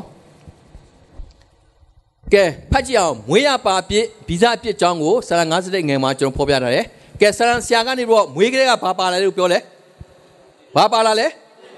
ကဲအဲ့ဒီအပြစ်ကဘယ်ကရတာလဲကဲအာရန်ကဘသူ့ကိုပြစ်မှားတာလဲ ဘုရားသခင်ကိုပြစ်မှာဒါကြောင့်မလို့အာရန်ကနေတဆင့်ရတဲ့အပြစ်ဟာဘုရားသခင်ကိုပြစ်မှားတဲ့အပြစ်ဖြစ်တယ်ဒါကြောင့်ဒါကိုဘာအပြစ်လို့ခေါ်လဲဗီဇအပြစ်ဒါမှမဟုတ်ရှင်ဘာအပြစ်လို့ခေါ်လဲငွေရပါအပြစ်လို့ခေါ်တယ်ရှင်းလားမင်းတရားရှိလားမရှိပါဘူးကဲနောက်တစ်ခုသွားရအောင်ကဲကျွန်တော်ကအပြစ်လုပ်လို့အပြစ်သားဖြစ်တာလားအပြစ်သားဖြစ်လို့အပြစ်လုပ်တာလားပြန်စမ်းကြည့်ငကိုတွေကကျွန်တော်အပြစ်သားဟုတ်လားမဟုတ်လားအာရနဲ့အေဝါကနေဆင်းတက်လာတော့အပြစ်သားဖြစ်တဲ့ကြောင့်ဘာလို့လုပ်တာလဲ အဲဒုစရိုက်အပြစ်ကိုလုပ်တတ်တာဖြစ်တယ်ဟုတ်မနော်အပြစ်သားဖြစ်လို့အပြစ်လုပ်ခြင်းဖြစ်တယ်အပြစ်လုပ်လို့အပြစ်သားဖြစ်ခြင်းမဟုတ်ပြန်ပြောမယ်အပြစ်လုပ်လို့အပြစ်သားဖြစ်ခြင်းမဟုတ်ပြောအောင်အပြစ်လုပ်လို့အပြစ်သားဖြစ်ခြင်းမဟုတ်အပြစ်သားဖြစ်လို့အပြစ်လုပ်ခြင်းဖြစ်တယ်ဆိုအောင်အပြစ်သားဖြစ်လို့အပြစ်လုပ်ခြင်းဖြစ်တယ်ကဲမနေ့ကဝင်းကပြောသွားတဲ့အထဲမှာပါတယ်ခွေးဆိုတာဟောင်းလို့ခွေးဖြစ်တာလားခွေးဖြစ်လို့ဟောင်းတာလားဒါဆိုမဟောင်းတဲ့ခွေးကိုခွေးလို့ခေါ်လို့ရပါမလားဒါဆိုဝက်လို့ခေါ်မလား ဟမ်ဝက်လို့ခေါ်လို့ရမလားဒါဆိုဟိုကတုံးလုံးကြီးအိတ်နေတယ်ခါမှလည်းမဟုတ်ဘူးအများတန်းသူအစာတော့ထစားတယ်အဲ့ခွေးရပါလေဝက်လို့ခေါ်လို့ရမလားမရဘူးဟောင်းဟောင်းမဟောင်းပါပဲလေခွေးပဲနော်အဲ့တော့လူဆိုတာလည်းဒီလိုပဲအပြစ်လုပ်လို့မလုပ်လို့ဘာသားဖြစ်လဲအပြစ်သားဖြစ်တယ်နော်အပြစ်သားဖြစ်လို့ဘာလို့လုပ်ခြင်းဖြစ်လဲပြစ်လုပ်ခြင်းအပြစ်လုပ်လို့အပြစ်သားဖြစ်တာလားမဟုတ်ငကိုကလေးအပြစ်သားဖြစ်တာမဖြစ်ဘူးလား ဒါကြောင့်ဒုစရိုက်ပြစ်ကိုလုပ်လားမလုပ်လားဒါအပြစ်လုံနီးတင်တန်းကြောင့်မတက်ပတဲ့လူဟာအပြစ်လုပ်တတ်တယ်ဆိုတာကိုတွေ့ရတယ်နောက်ချက်ကျွန်တော်ကြည့်အောင်ဟုတ်ပြီအဲ့တော့ဝဲကျွန်တော်ကအပြစ်သားဖြစ်လို့အပြစ်လုပ်တတ်တယ်ဆိုတော့ခွေးကိုလည်းဟောင်းနီးတင်ပေးစရာမလိုဘူးအပြစ်ကိုလည်းလုံနီးတင်ပေးစရာမလိုဘူးအဲ့တော့ကျွန်တော်ကနော်အပြစ်လုံနီးတင်ပေးစရာမလိုပဲလူတွေအားလုံးကအပြစ်လုပ်တတ်ကြတယ်ဒေါသထွက်တဲ့နီးစိတ်ဆိုးတဲ့နီးနော်သူများသားများပြစ်မှားတဲ့နီးစိတ်ကောက်တဲ့နီးအတင်းပြင်းပြောတဲ့နီးတွေတင်ပေးစရာလို့လားမလိုပဲနဲ့လူဟာအပြစ်လုပ်တတ်တယ်ဆိုတော့တွေ့ရတယ် ကဲဥမာအဖေကဗမာအမေကဗမာဆိုရင်မွေးလာတဲ့ကလေးကဘာဖြစ်မလဲဗမာပဲဖြစ်မလဲအဖေကကပ်ပလီအမေကကပ်ပလီဆိုမွေးလာတဲ့ကလေးကိုတေးလို့ခေါ်လို့ရမလားမရဘူးတေးလို့ခေါ်လို့မရဘူးနော်အဲ့တော့အဲ့လိုပဲအပြစ်သားကြီးအာရနဲ့အေဝါနဲ့ဆင်းသက်တဲ့ကျွန်တော်အားလုံးကလည်းဘာသားပဲလဲအပြစ်သားပဲဆိုတာကိုနားလည်ရမယ်နောက်တစ်ခုကဲအဖေဗမာအမေဗမာနဲ့မွေးဖားလာပြီးတော့ကျွန်တော်ကဘာဖြစ်မလဲဗမာပဲဖြစ်မယ်ကဲအသားမဲလို့ နော်ပရဝတ်တစ်ခုအသားမဲလို့ကပ်ပြီလို့ခေါ်လို့ရမလားအသားဖြူလို့အင်္ဂလိပ်လို့ခေါ်လို့ရမလားဗမာကဘာပဲလဲဗမာပဲဗမာစကားမပြောလဲဗမာစကားပြောတယ်ဗမာပဲတော့ပေါ့လားဥမာကရင်နဲ့ကရင်မျိုးသားနဲ့ကရင်မျိုးသမီးကမွေးလာတယ်သူတို့ကရင်လို့မပြောဘူးသူတို့ဘာပဲလဲကရင်ပဲအဲ့လိုပဲကပ်ပလီငါနေမွေးလာတယ်ကပ်ပလီလို့သူတို့မပြောဘူးဘာပဲလဲ ကပ်ပလီလို့မပြောသူတို့အင်္ဂလိပ်လို့ပြောတယ်သူတို့အင်္ဂလိပ်လို့ခေါ်လို့ရမလားမရဘူးကပ်ပလီရပါပဲလေကပ်ပလီပဲဟုတ်ပြီနော်အဲ့တော့ကဲဗမာကနေမွေးရတယ်ဗမာယဉ်ကျေးမှုဒလစ်ထုံးတယ် तू မသိဘူးမလုပ်လို့ရှိရင်သူ့အင်္ဂလိပ်လို့ခေါ်လို့ရမလားဗမာကဘာပဲလဲဗမာပဲနောက်တစ်ခုဘာကြောင့်လဲဆိုတော့သူတို့မိဘကနေဘယ်မိဘကနေမွေးလာလဲဗမာ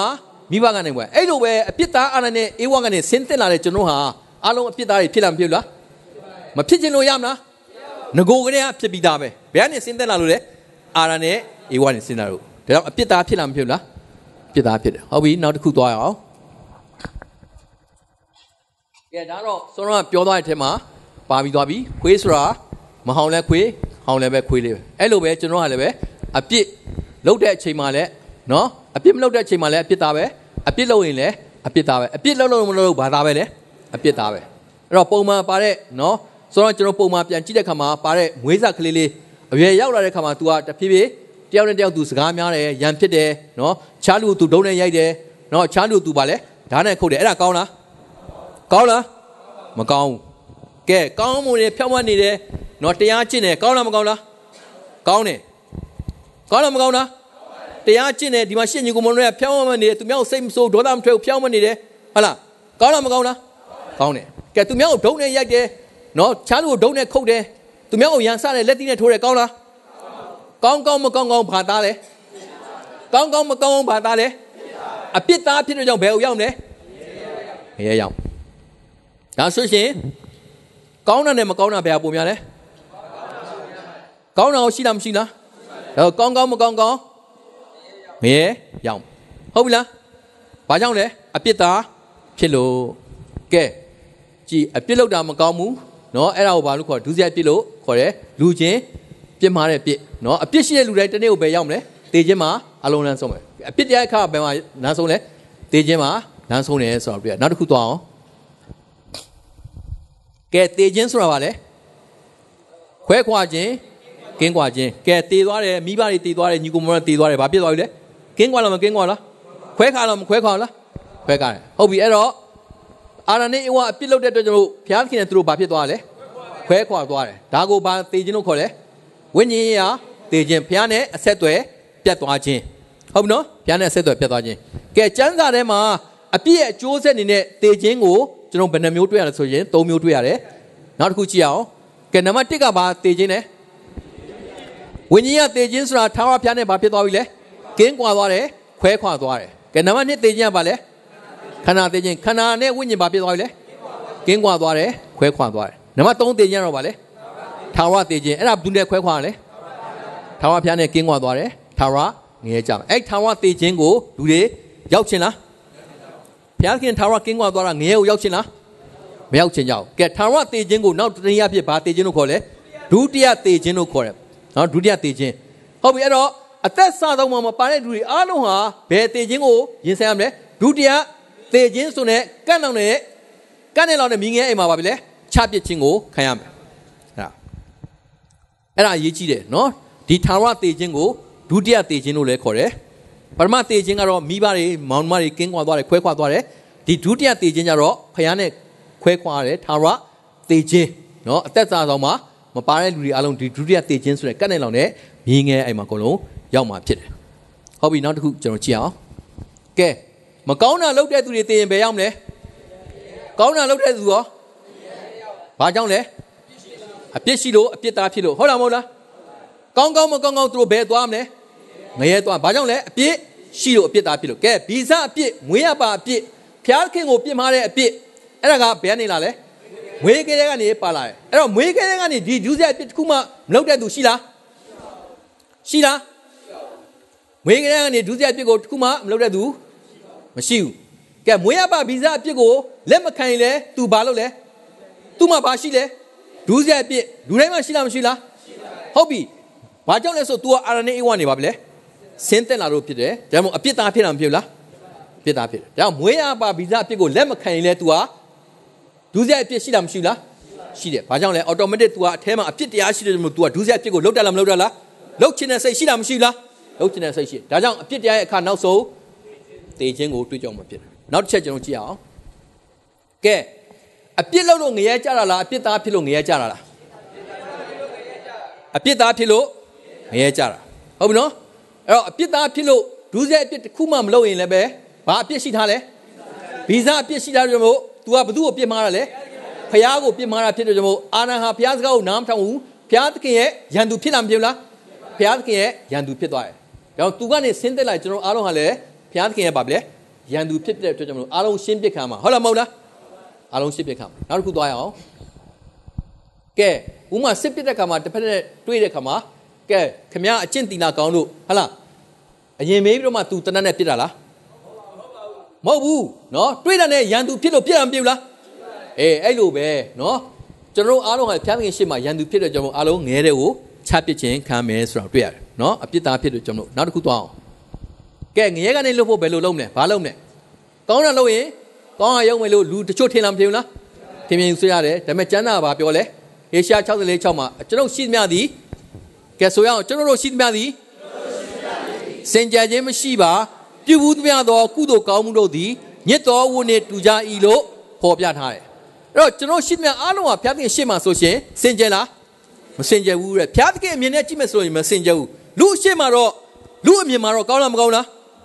လူအမြင်မှာတော့ကောင်းလားမကောင်းလားစင်ကြယ်လားမစင်ကြယ်ဘူးလားစင်ကြယ်မနဲ့အစိုးထားပြီးတော့ရေချိုးလားမချိုးလားရေမချိုးတဲ့လူရှိလားမရှိပါဘူးเนาะအမြဲစောထားပြီးတော့ရေချိုးကြတယ်တန့်ရှင်းထားတယ်စင်ကြယ်အောင်လုပ်ထားတယ်เนาะတော့ဘုရားသခင်အမြင်နဲ့ကြည့်မယ်ဆိုလို့ရှိရင်တော့ဗာပြီလေတန့်ရှင်းတယ်လို့ပြောလား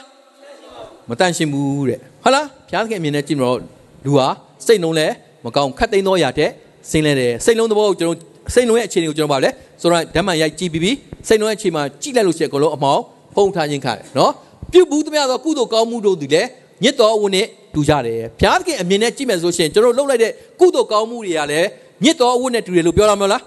လက်နီးစုံနဲ့တူတယ်လို့ပြောလားမပြောလားလူအမြင်နဲ့ကြည့်မယ်ဆိုရှင်ကောင်းလားမကောင်းလားအထုပ်ကလေးကိုတေချာတက်တက်ရရနဲ့ဗာလဲစီးထားတော့ထုတ်ထားတော့အလှပလေးနဲ့ဟလားစီးထားတယ်နောက်တော့ဗာလဲ ribbon လေးတောင်ဆွဲထားလားမဆွဲထားလား ဆွဲထားတယ်ဒါပေမဲ့ဘုရားသခင်အမြင်နဲ့ကြည့်မယ်ဆိုလို့ရှိရင်ဗာလဲလက်နီးစုပ်ကြည့်ပဲတော့ပေါ့လားနောက်ဘုရားသခင်အမြင်နဲ့လူအမြင်တူလားဘုရားအမြင်နဲ့လူအမြင်လုံးဝမတူဘူးနော်ဘုရားသခင်အမြင်မှာကြည့်မယ်ဆိုရှင်တဲ့နားတော့လဲမစင်ကြဲတဲ့မဖြူစင်ဘူးကျဲတော့လဲမဖြူစင်ဘူးတဲ့ထိုမြတ်မက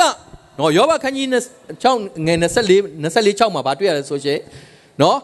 ဘုရားသခင်အမြင်နဲ့ကြည့်မယ်ဆိုရှင်နားတော့လဲ မဖြူစင်ဘူးတဲ့ကျဲတော်လဲရှစ်တော်၌မဖြူစင်ဘူးမစင်ကြဲဘူးတဲ့ဘုရားခင်အမြင်နဲ့ကြည့်မှာဒါပေမဲ့ကျွန်တော်အမြင်နဲ့ကြည့်မယ်ဆိုရင်လာပါလဲဖြူလားမဖြူလား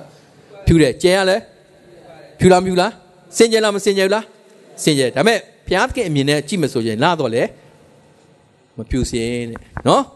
ဒါလူအမြင်မှာတော့ကောင်းတယ်ဒါပေမဲ့ဘုရားခင်အမြင်မှာမကောင်းဘူးဆိုတာကိုကျွန်တော်တို့တွေ့ရတယ်အဲ့တော့လိုက်ဆိုထိုမြတ်မကတီကောင်ဖြစ်တော်လူပိုးရွဖြစ်တော်လူသားကို အဘယ်ဆိုပွင့်ရရှိသနည်းကဲလူကိုဖျားသခင်ကတီကောင်နဲ့နှိုင်းတာတီကောင်ရဲ့သဘောတရားကိုပြန်ကြည့်နော်တီကောင်ဘာလို့စားလဲဘယ်မှာသွားလဲမြေကြီးပေါ်မှာခီးသွားမသွားလားမြေကြီးရဝယ်စားလားမစားလားနောက်ပြီးတော့မှမြေကြီးပေါ်မှာနောက်ဆုံးပဲဘာပဲသွားလဲတေးသွားတယ်လမ်းဆုံးသွားတယ်မြေကြီးပေါ်မှာပဲကျင်လဲတယ်မြေကြီးပေါ်မှာ तू ကနော်သွားလာလှုပ်ရှားတယ်နော်မြေကြီးအရာတွေကိုပဲစားတယ်ဟဟလား ပုတ်ပုတ်ဆက်ဆက်အကုန်လုံးစားတာပဲနော်စားတော့နောက်ဆုံးမြေကြီးပေါ်မှာခီးသွားတယ်နောက်ဆုံးမြေကြီးပေါ်မှာလမ်းဆုံးတယ်မြေကြီးပေါ်မှာတေးသွားတယ်ဒါတီးကောင်းဟုတ်လားတီးကောင်းဘယ်လိုသွားလဲတီးကောင်းဘယ်လိုသွားလဲတွန်းတွန်းတွန်းတွန်းသွားလားမသွားလားတွန်းနေတွန်းနေနဲ့သွားလားမသွားလားအေးကျွန်တော်လူတွေရောအဲ့လိုသွားလားမသွားလားလမ်းကိုဖျက်ပြောင်းသွားခြင်းလားဘယ်တော့မှဖျောက်မသွားကောက်ကောက်ကိုးနေသွားလားမသွားလားအေးတွန်းနေတွန်းနေနဲ့သွားလားမသွားလားအေးဒါကြောင့်လောကမှာလူတွေအားလုံးပြန်ကြည့်တီကောင်နဲ့တူလားမတူလား အာ night club မှာဆိုလို့ရှိရင်ကလိုက်တာတွန့်လင်ကောက်ကွေးနေတာပဲဟုတ်လားမလားဒါပေမဲ့ဘုရားကျောင်းမှာ praise and worship လုပ်မယ်ဆိုကောက်ဖို့ဆိုရှက်လားမရှက်လားရှက်တယ်ဟုတ်ပြီနော်ဒါကြောင့်ဘုရားသခင်ကဘာပြောလဲတီကောင်တဲ့နော်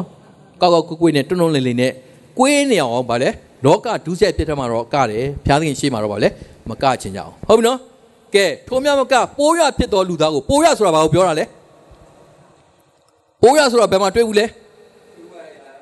ယ်မှာလဲအိမ်သားထဲမှာဟုတ်လားနော် तू လဲဘယ်လိုသွားလဲအဲတွန်းတွန်းတွန်းနဲ့သွားတာဘာအောင်စားလဲမစင်ကိုစားလားမစားလားဘယ်ထဲမှာ तू ခီးသွားလဲ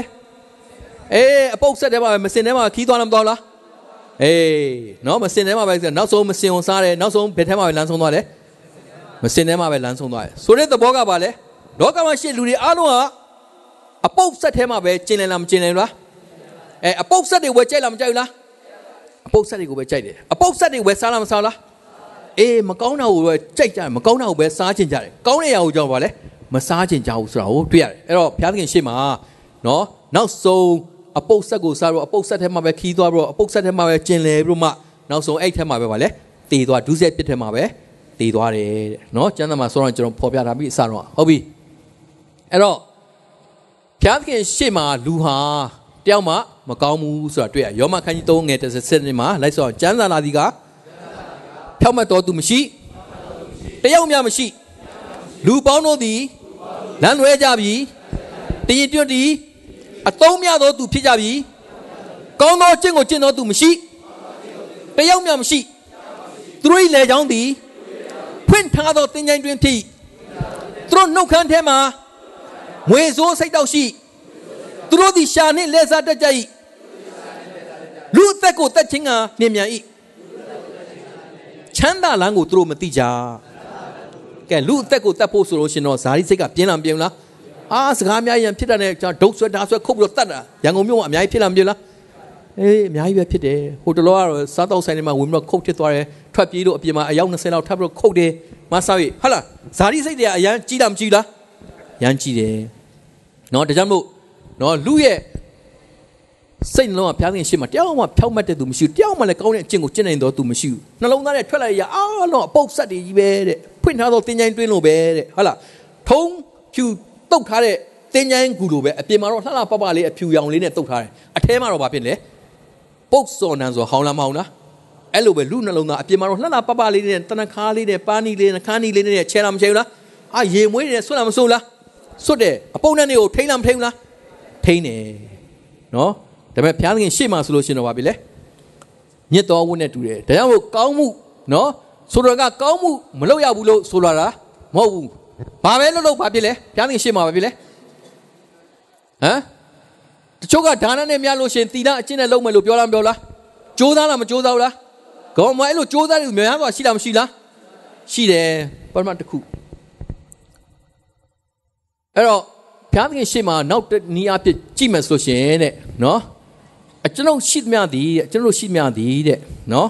စင်ကြယ်ခြင်းမရှိပါတဲ့ဥခေါင်းဖျားမှခြီပွားတိုက်အောင်ဆုတ်ရှသောနာထိခိုက်၍ရည်ပဲသောနာနော်တနည်းအားဖြင့်အရွေတရွှန်းရွှန်းထွင်းနေတဲ့အနာဖျောင်းစီနဲ့လည်းနေလို့မရဘူးပတ်တီလည်းစီးလို့မရဘူးတဲ့အဲ့အနာယောဂတဲ့ကဘာယောဂတဲ့လဲဘာယောဂတဲ့လဲနူနာယောဂတဲ့ဟုတ်လား နော်ပြောင်းစီနဲ့လည်းနှိမ့်လို့ရပတ်တီလည်းစီလို့မရဘူးဆုတ်ရှာသောနာထိခိုက်ရရည်ရွယ်သောနာအရေးကျွှမ်းကျွမ်းကြနေတယ်အဲ့ဒီယောဂတဲ့ကဘာယောဂတဲ့လဲအနုယောဂတဲ့နော်အဲ့တော့ဘုရားသခင်ရှေ့မှာကြည့်မယ်ဆိုရှင်လူဟာအနုယောဂတဲ့နဲ့တူလူရဲ့ခန္ဓာကိုယ်ဟာရောမကောင်းဘူးတဲ့ဘုရားသခင်ရှေ့မှာခန္ဓာကိုယ်ကပါလေအရေးကျွှမ်းကျွမ်းထွက်နေတယ်တဲ့ကဲနတ်ချီထွက်လားမြက်ချီထွက်လားဘာထွက်သေးလဲသွားချီထွက်လားကုံထွက်လားမထွက်လားအဲ့တော့ဘုရားသခင်ရှေ့မှာပါပြီလေအရေးကျွှမ်းကျွမ်းနဲ့ဘာဖြစ်လဲနူနာယောဂတဲ့သူဖြစ်လားမဖြစ်လား အဲလူဖျားခင်ရှေ့မှာတော့လူဟာခန္ဓာကိုယ်လည်းမကောင်းဘူးစိတ်နှလုံးကလည်းပါဗျလေမကောင်းဘူးတဲ့အဲ့တော့ကျွန်တော်ကြည့်မယ်ဆိုရှင်နော်ပရမတ်တစ်ခုပြဟုတ်ပြီအဲ့တော့လူနူဆိုပါတော့နော်ကဲ तू ကကျွန်တော်မော်လမြိုင်တောင်ဝင်းစီးအောင်ရောက်တဲ့ခါမှာအဲ့မှာ cruise သွားလို့တော့ကျွန်တော်လည်းအဲ့မှာသွားပြီးတော့တက်ကြတယ်အင်္ဂလိပ်လောက်တဲ့အနူအိမ်ကိုအိမ်တက်ဆင်းလိုက်ပြီးတော့မှအင်္ဂလိပ်ဝင်ခါတယ်အဲ့အနူတွေကဘာလို့လဲဆိုရှင် သူတို့လက်နဲ့ကောင်းကောင်းလက်ဖက်တော့ကိုနေပြီးတော့ကျွေးတယ်နော်ဒါမဟုတ်ဘူးစီရလဲကားတဲ့နှမ်းချင်းပြီးတော့လည်းပဇွန်ကြောက်တယ်အကောင်သားထည့်ထားသေးတယ်ဟာအားရပါရသူနေတာနေတာကဲကျွန်တော်ကျွေးတယ်ခင်ဗျားတို့ကျွေးမယ်စားမလားစားမလားလက်ကနေလို့ကွေးနေတယ်လေလက်ဖက်တော့ကောင်းကောင်းကိုပါလေချက်သွန်ဂျော်ရီနဲ့ဟိုနောက်တော့ပဇွန်ကြောက်တင်နဲ့ဟာစီရလဲရွှဲနေအောင်ထည့်ပြီးတော့ကောင်းကောင်းတုတ်ကျွေးစားမလားဘာကြောင့်လဲယွန်းလားမယုံလား ယွန်းနေအဲ့လိုပဲဖျားသခင်ရှေ့မှာဆိုလို့ရှိရင်လူဟာအကောင်းဆုံးလုပ်ပေမဲ့လို့ဖျားသခင်ကဘာတွေ့လဲဘာမြင်လဲ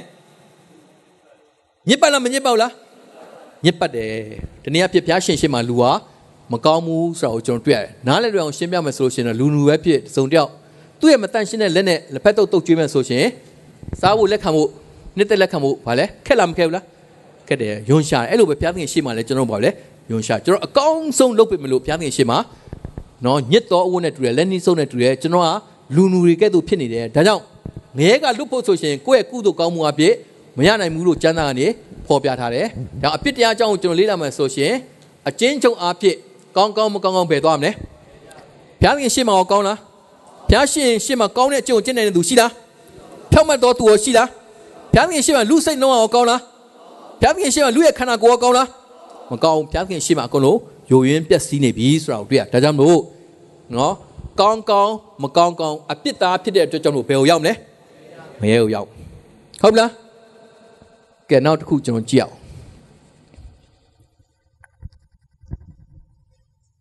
နောက်တစ်ခုကတော့ဒုတိယတရားပညာတရားလို့ခေါ်တယ်ပညာတရားနော်အဲ့တော့ပညာတရားကတန်ချင်းတန်ကြိုကွင်းဆက်10ခုနဲ့တူတယ်ပညာ10ခုရှိရဆိုပါစို့အဲ့တော့10ခုစလုံးကိုနော်ကျွန်တော် လိုက်လျှော့တဲ့ခါမှာတစ်ခုချိုးဖောက်မိတာနဲ့အားလုံးပါပဲလေချိုးဖောက်တာနဲ့အတူပဲကမ္ဘာလောကမှာရှိတဲ့လူသားတွေအားလုံးဟာဖျားခင်စီကိုကောင်းကင်ကိုရောက်ချင်လားမရောက်ချင်ဘူးလားရောက်ချင်တဲ့ကြွမို့ကိုယ့်ရဲ့ကုသိုလ်ကောင်းမှုအကျင့်ဒါနသီလတွေနဲ့ကြိုးစားလားမကြိုးစားဘူးလားကိုယ့်ရဲ့ဖြောင့်မတ်ခြင်းနဲ့ကြိုးစားလားမကြိုးစားဘူးလားကြိုးစားတယ်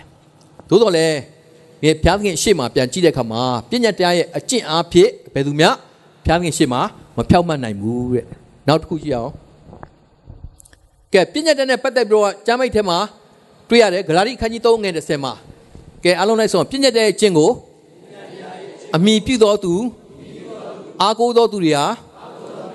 ချိန်ချင်းခံမယ်အမြဲမကျင့်နိုင်ရင်ချိန်ချင်းခံမယ်ကဲကျွန်တော်မိတ်ဆွေတို့ဒီမှာရှင်းညီကိုမွန်အားလုံးပြည့်ညတ်တဲ့အကျင့်ကိုအမြဲကျင့်နိုင်လားကျင့်နိုင်လားကဲပြည့်ညတ်တော့613မှာရှိရဆိုရှင်ကျင့်နိုင်မလား ကဲအာရနဲ့အင်းဝပြည့်ညတ်တစ်ခုပဲဘုရားသခင်မစားနဲ့စားလို့ရှင်သေမယ်ဆိုတဲ့ဘုရားစကားတော်သူတို့ကျင့်နိုင်လားလိုက်ရှောက်နိုင်လားကဲအခုတို့ပြည့်ညတ်တော့613မှာဆိုရှင်ကျွန်တော်ကျင့်နိုင်ပါမလားကျင့်နိုင်မလုပ်နဲ့ဆိုရှင်လုပ်ချင်လားမလုပ်ချင်ဘူးလားမစားနဲ့ဆိုရင်စားချင်လားမစားချင်လားမသွားနဲ့ဆိုရင်သွားချင်လားမသွားချင်လားအဲ့ဒီနေရာကမကောင်းဘူးဆိုရှင်ဘာဖြစ်လဲအရင်ဦးဆုံးပါလေရောက်ချင်တယ်နော်ဟာဟိုနားမှာဟဲ့ကောင်မလေးတယောက်ကိုနော်အာမဒိန်ကျင့်သွားတယ်ဟဲ့ဘဲကောင်ဘဲကောင်မလေးလှလှလေးဟာလား ဘာဖြစ်လဲဟေးဟေးပြန်ပြောပါဦးမကြားလို့မကြားလို့ကဲမကောင်းတာဝယ်နားထောင်ရင်လားနားမထောင်ရင်လားနားထောင်ရင်ကြတယ်ဟုတ်ပြီနော်ဒါကြောင့်မို့လူဟာမကောင်းတာကောင်းတာထက်မကောင်းတာကိုပို့ပြီးတော့မှနားထောင်ရင်လားနားမထောင်ရင်လားမကောင်းတာကိုနားထောင်ရင်တယ်ကဲတော့မကျင့်နိုင်လို့ရှိရင်ဘာခံမလဲကျင့်ချင်းခံမယ်ဘယ်ကိုသွားမလဲငဲကိုသွားမယ်ဆိုတော့နောက်တစ်ချက်ကျမ်းမဲကိုကြုံကြည့်အောင်ကဲယာကုပ်ခန်းကြီးနှစ်ငဲ30မှာအမြဲကျင့်နိုင်မဲ့ထားအောင်တော့တခုချိုးဖောက်တဲ့နဲ့အားလုံးချိုးဖောက်တဲ့တူလားမတူလား အဲ့တော့ငဲကိုကြားမှမကြောက်လားငဲကိုကြားမလို့ကျမ်းစာပွဲနော်အမြဲမကျင့်နိုင်လို့ရှိရင်ငဲကိုကြားမယ်ဥမာပြည့်ညတ်တရားကိုကျင့်တယ်ဆိုဘာနဲ့တူလဲဆိုရှင်ဥမာခြံစည်းရိုးကထားရဲဆိုတော့အဲ့ခြံစည်းရိုးကိုလုံနေအောင်ကားမယ်ဒါမှမဟုတ်ရှင်ခွေးတိုးပေါက်ဝက်တိုးပေါက်တစ်ခုရှိတာနဲ့အဲ့ခွေးတိုးပေါက်ဝက်တိုးပေါက်တစ်ခုရှိတယ်နဲ့အဲ့ခြံပါပြီလေမလုံတာနဲ့တူလားမတူလားအတူတူပဲဖြစ်သွားအောင်ဒါလုံအောင်လုပ်ဖို့လိုလားမလိုလားအဲ့လိုပြည့်ညတ်တရားကိုကျင့်လို့ရှိရင်လည်းအမြဲကျင့်ဖို့လိုလားမလိုလားတခုမကျင့်နိုင်တဲ့အားလုံးဘာဖြစ်သွားလဲ ချိုးဖောက်ရတဲ့အတူပဲတဲတဲ့ရည်တုံတို့အကုန်လုံးဖြစ်သွားတယ်ကဲဥမာဆောင်းဝဲတစ်ဘာသာကြလို့ရှိရင်ငါးဘာသာကြတဲ့လူနဲ့ပြန်တော့တူလားမတူလားကဲလူတယောက်ဟာအသက်တရာမှာသိမယ်ဆိုတော့နော်69နှစ်သူတရားကျင့်တယ်ဒါပေမဲ့တခုချိုးဖောက်မိတာနဲ့အားလုံးပါပြီလေချိုးဖောက်ရတဲ့အတူပဲအားလုံးဘယ်သွားမလဲငရဲကိုသွားမယ်နောက်တစ်ခုကြည့်ရအောင်ကဲဒါဆိုရှင်ဒီမှာကြည့်ညီကိုမောင်မရဲ့အားလုံးကမွေးကလေးကအပြစ်ဘယ်နှခုလုပ်ပြီးလဲပညာဘယ်နှခုချိုးဖောက်ပြီးလဲ ဟမ်နှစ်ခုတစ်ခုချိုးဖောက်ရင်တော့မှဘာဖြစ်လဲဟမ်တစ်ခုလုံးပြီးတော့မှငရဲကြမယ်ဆိုများတော့လုပ်ပြီးလားမလုပ်ပြီးလားဒါဆိုကြမှာတေချာလားမတေချာဘူးလားဘယ်ကိုသွားမလဲငရဲကိုသွားမယ်အဲ့တော့ငရဲသွားဖို့စိုးရင်းစရာရှိလား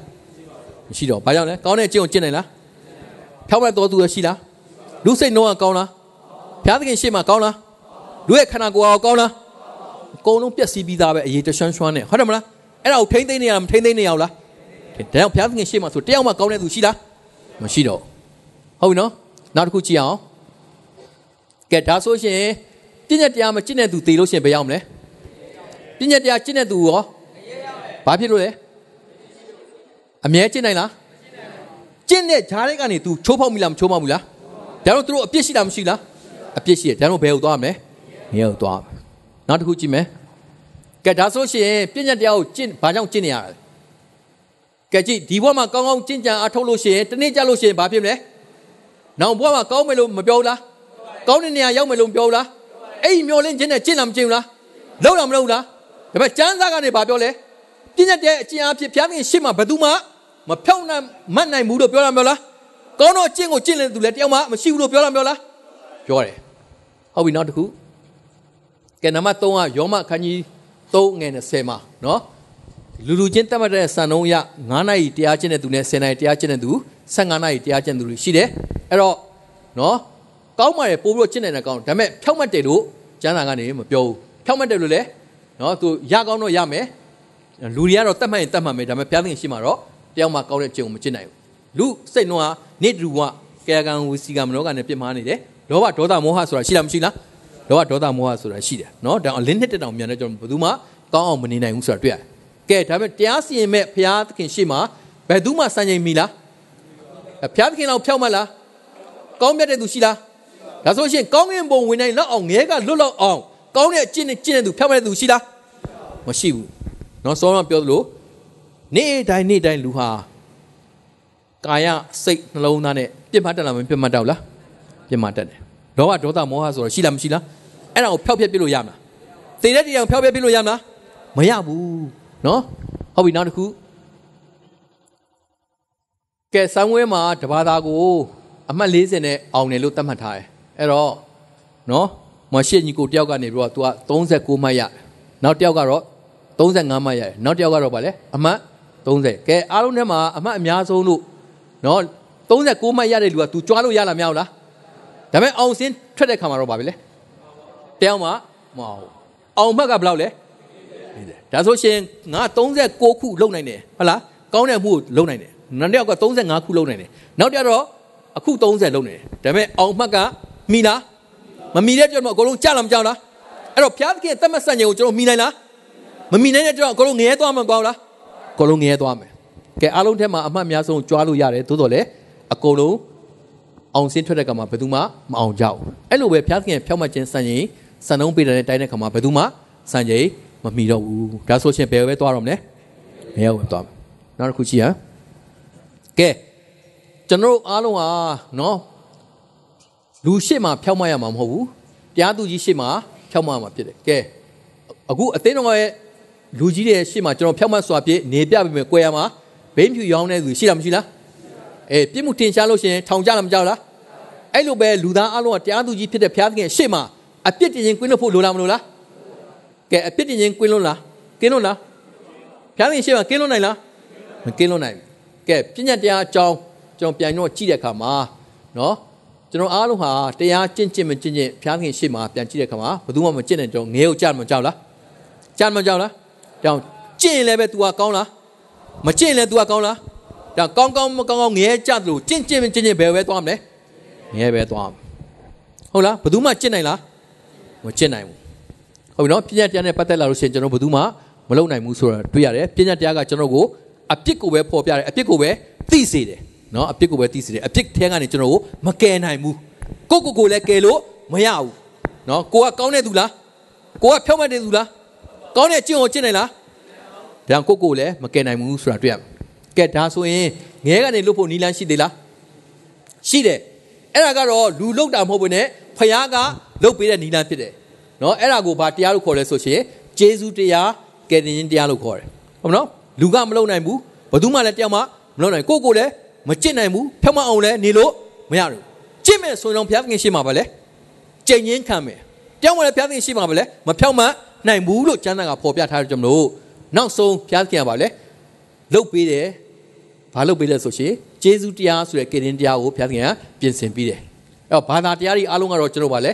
လုတ်ခိုင်းတယ် ဂျေဇုတရားကတော့ကျွန်တော်ပါလေလုတ်ပေးတယ်နော်ဘုရားကကျွန်တော်ငယ်ကနေလွတ်အောင်ဘာလုပ်ပေးလဲကဲတင်တယ်နော်ဘာသာတရားတော့ဘာလုပ်လဲလှုပ်ခိုင်းတယ်ကျေးဇူးတရားတော့ဘာလုပ်ပဲလှုပ်ပေးတယ်ဘာလှုပ်ပေးလဲကဲတင်ခြင်းကိုလှုပ်ပေးတယ်ဘာသာတရားတော့မင်းဟိုကမလုပ်နဲ့တော့ဒီကမလုပ်နဲ့တော့ဟိုကလုပ်လို့ရှင်မင်းဘာလဲမကောင်းဘူးဟုတ်လားငရဲကြမယ်ဘာ तू ကပြည့်ညက်နဲ့ तू ကထိန်ချုပ်လားမထိန်ချုပ်လားနော်လူတွေကိုလှုပ်ခိုင်းတယ်ဒါပေမဲ့လူတွေကလှုပ်နိုင်လားမင်းကောင်းအောင်ကျင့်မှလို့ပြောလားမပြောလား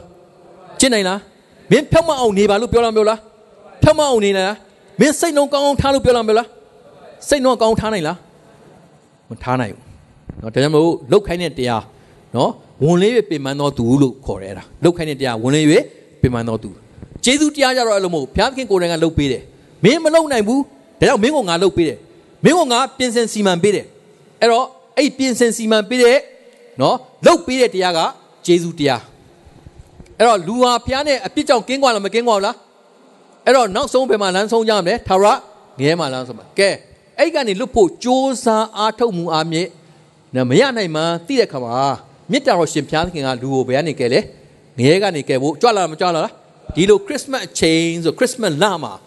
ဝမ်းမြောက်ဖွယ်ရတဲ့ငောင်းဘာလို့ဘာကြောင့်ကြွေးကြော်လို့ဆိုလူသားတွေအတွက်တလောကလုံးအတွက်နော်လောကဝမ်းမြောက်ဖျားကြွလာဖို့အတွက်ပြင်ဆင်ပေးတဲ့ နတ်အနေနဲ့လူတွေကိုဝမ်းမြောက်ပွဲတရင်ကောင်းကိုကြွေးကြော်ခြင်းဖြစ်တယ်အဲ့တော့ဘုရားခင်လောကကိုကြွလာတယ်လွန်ခဲ့တဲ့နှစ်ပေါင်း2000ကနေလူသားတွေကိုကယ်ဖို့ကြွလာတယ်အပြစ်ကြွေးကိုပေးဆက်တဲ့ကားတိုင်းမှာအပြစ်ငရဲနဲ့ရွေးနှုတ်ကယ်တင်တယ်ဆိုတော့အဲ့ဂျေဇုတရားနော်ဒါမြစ်တော်ရှင်ဘုရားခင်ကငရဲကနေကယ်ဖို့ကြွလာတဲ့အထိမ့်မှတ်အနေနဲ့လူသားတွေအားလုံးကယ်တင်ရဖို့တဲ့ဝမ်းမြောက်ဖွယ်ရတဲ့ရင်ကောင်းကိုကြွေးကြော်တဲ့လလို့လည်းခေါ်တယ်ဒါပေမဲ့လတိုင်းလတိုင်းတော့ကြွေးကြော်လို့ရတယ်ဒါပေမဲ့ဒီလိုလမျိုးမှာကလူတွေဝမ်းမြောက်ဆုံးလနောက်ပြီးတော့လောကသားတွေကတော့ အပျော်ပါတက်မှုမှာအပျော်ကျူးတော့ကာမုန်စိတ်တွေပျော်မှုတဲ့အကောင်းဆုံးနလို့လောကသားတွေတတ်မှတ်တယ်ကျွန်တော်ဖျားခင်ရဲ့လူတွေကြတော့လောကသားအားလုံးအတွက်ဝမ်းမြောက်ဖို့ရတဲ့ကြွလာတဲ့ဖခင်ရဲ့မေတ္တာကိုလူတိုင်းခံစားဖို့အပြစ်ငရနဲ့ရွေးနှုတ်ကယ်တင်ခြင်းခံရဖို့အတွက်အကောင်းဆုံးနလို့ကျွန်တော်ကကြွေးကြော်ပြီးတော့မှဖခင်ရဲ့မေတ္တာနဲ့ကောင်းမြတ်ခြင်းလူသားတွေအားလုံးခံစားဖို့အတွက်ကြွေးကြော်ခြင်းဖြစ်တယ်ဟုတ်ပြီအဲ့တော့အဲ့တရားကိုကျေးဇူးတရားတနည်းအားဖြင့်ကယ်တင်တော်မူခြင်းတရားလို့ခေါ်တယ်ကျွန်တော်ကြည့်အောင် အဲကျေးဇူးတရားကမ္ဘာလောကလူသားတွေအားလုံးဟာနော်ကောင်းကင်ဒုက္ခချမ်းသာမှုကိုရောက်ချင်လားမရောက်ချင်ဘူးလားရောက်ချင်ကြတယ်အဲ့တော့ပြည့်တဲ့အကျဉ်းအပြောရောက်နိုင်လားမရောက်နိုင်ဘူးဒါကြောင့်မို့ဖယားသခင်ဘက်ကနေလူအတွက်ကိုဘာလဲပြင်ဆင်စီမံလှုပ်ဆောင်ပေးတယ်နော်ဖယားသခင်ဘက်ကနေလူအတွက်ကိုဘာပြင်ဆင်စီမံလှုပ်ဆောင်ပေးလဲဆိုရှင်တကယ်ယေရှုခရစ်တော်ဟာလောကကိုကြွလာပြီးတော့မှကျွန်တော်အပြစ်ငရဲမှာခံမဲ့အပြစ်ကြွေးကိုကားထဲမှာပေးဆက်တယ်အပြစ်ငရဲကနေရွေးနှုတ်ကဲတင်တယ်နော် ယောမငါရှစ်မှာငါတို့ဒီအပြစ်ရှိတယ်မင်းခရစ်တော်ဒီငါတို့အတွက်ကြောင့်အသေးခံတော်မူသည်ဖြစ်၍ဖျားသခင်ဒီငါတို့ကိုအဘယ်များလောက်ချစ်တော်မူသည်ကိုထင်ရှားစွာပြတော်မူ၏ဖျားသခင်ကကားတိုင်းမှာသူ့ရဲ့မေတ္တာကိုထင်ရှားစွာပြခဲ့တယ်လူသားတွေအတွက်သူ့ရဲ့မေတ္တာကိုထင်ရှားစွာပြခဲ့တယ်အပြစ်ကြွေးကိုပေးဆက်ခဲ့တယ်နောက်ပြီးမှတယောတစ်ခုမှလိုက်ဆိုအောင်ဖျားသခင်သားတော်ယေရှုခရစ်၏အသွေးတော်သည်ငါတို့အပြစ်ရှိများကိုဆေးကြောတော်မူ၏ ခရစ်တော်ရဲ့အသွေးတော်ကကျွန်တော်အပြစ်ရှိများအလုံးဆေးကြောမဆေးကြောလားဆေးကြောပေးတယ်ဒါဆိုအပြစ်ရှိများအလုံးကိုဆေးကြောပေးဆိုကျွန်တော်အပြစ်ကြောင်မလားအဲ့ဒါဘယ်သူလှုပ်ဆောင်ပေးတာလဲဖျားခင်ပြင်ဆင်စီမံလှုပ်ဆောင်ပေးတာကျွန်တော်လှုပ်လို့ရလားကျွန်တော်လှုပ်လို့မရဘူးဖျားခင်ကိုယ်တိုင်ကပြင်ဆင်စီမံလှုပ်ဆောင်ပေးတယ်ကဲကျွန်တော်မကောင်းတဲ့အုံနောက်စဉ်းစားစိတ်ကူးမှုတွေခေါင်းမှာစူးအိုးဆောင်းမအသွေးယူစီကြခဲ့တယ်မကောင်းတဲ့အရာကိုလှုပ်ချင်တဲ့လက်ရက်တောက်ချင်တဲ့သူများကိုစော်ကားချင်တဲ့လက်အတွက်လက်ဝါးမှာတန်ကျဲရပြီးတော့ရိုက်ပြီးတော့အသွေးယူစီကြရတယ် မကောင်းတဲ့နေရာကိုသွားခြင်းခြေထောက်အတွက်ခြေထောက်မှာတန်ကျဲရရိုက်ပြီးအသွေးယူစီကြခဲ့တယ်မကောင်းတဲ့နှလုံးသားညှဉ်းမှုအတွက်နဘေးမှာလှမ်းနေထိုးတော့အသွေးယူစီကြခဲ့တယ်ကြောင့်ဘုရားခင်သားတော်ယေရှုခရစ်အသွေးတော်သည်ငါတို့အပြစ်ရှိမြအားလုံးကိုဆေးကြောပြုလုပ်ပေးလိုက်တယ်။ကားရီမှာအပြစ်ကြွေးတွေပေးဆက်တော့အားလုံးကျွန်တော်အပြစ်ကြွေးတွေအားလုံးကိုယတာခြေပေးလိုက်တယ်။အပြစ်ငယ်ကနေကျွန်တော်ကိုရွေးနှုတ်ကဲတင်တယ်။အဲဒါကျွန်တော်တို့လှုပ်လို့မရတဲ့အရာကိုဘုရားခင်ကကျွန်တော်တို့လှုပ်ဆောင်ပေးတာဖြစ်တယ်။နော်။ဒါကြောင့်မလို့ဒီမှာရှေ့ညီကိုမလို့အရောက်စတဲ့ရဲ့အသက်တာအတီးတွက်လဲ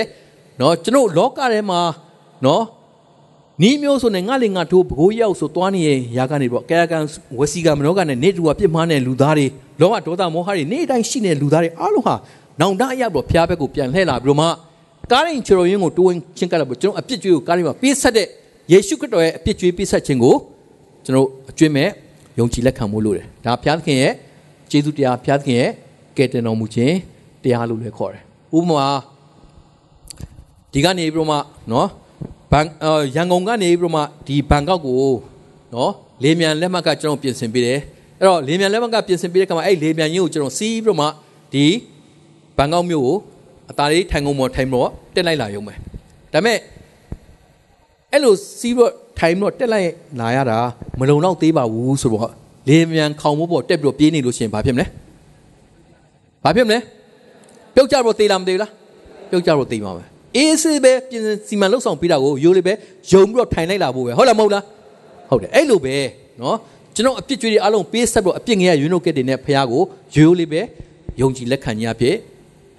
ကောင်းရင်သူချခချမ်းသာပုံကိုရောင်းရတဲ့ခွင့်ကိုရတယ်ကျွန်တော်ဘာမှလုပ်စရာမလိုအော်ကားတိုင်းမှာခရစ်တော်အသေးခံတာမလုံတော့ပါဘူးငါတော့လက်တန်းလေးဖြတ်ပြီးတော့တင်လိုက်မှပဲလို့ပြောစရာလို့လားပြောစရာလို့လားတင်လို့ရမလား မြောက်တိတ်ကောင်းတဲ့အမှုကိုဘုရားသခင်ကားတိုင်းမှာပြင်ဆင်ပေးလာပေးဘူးလား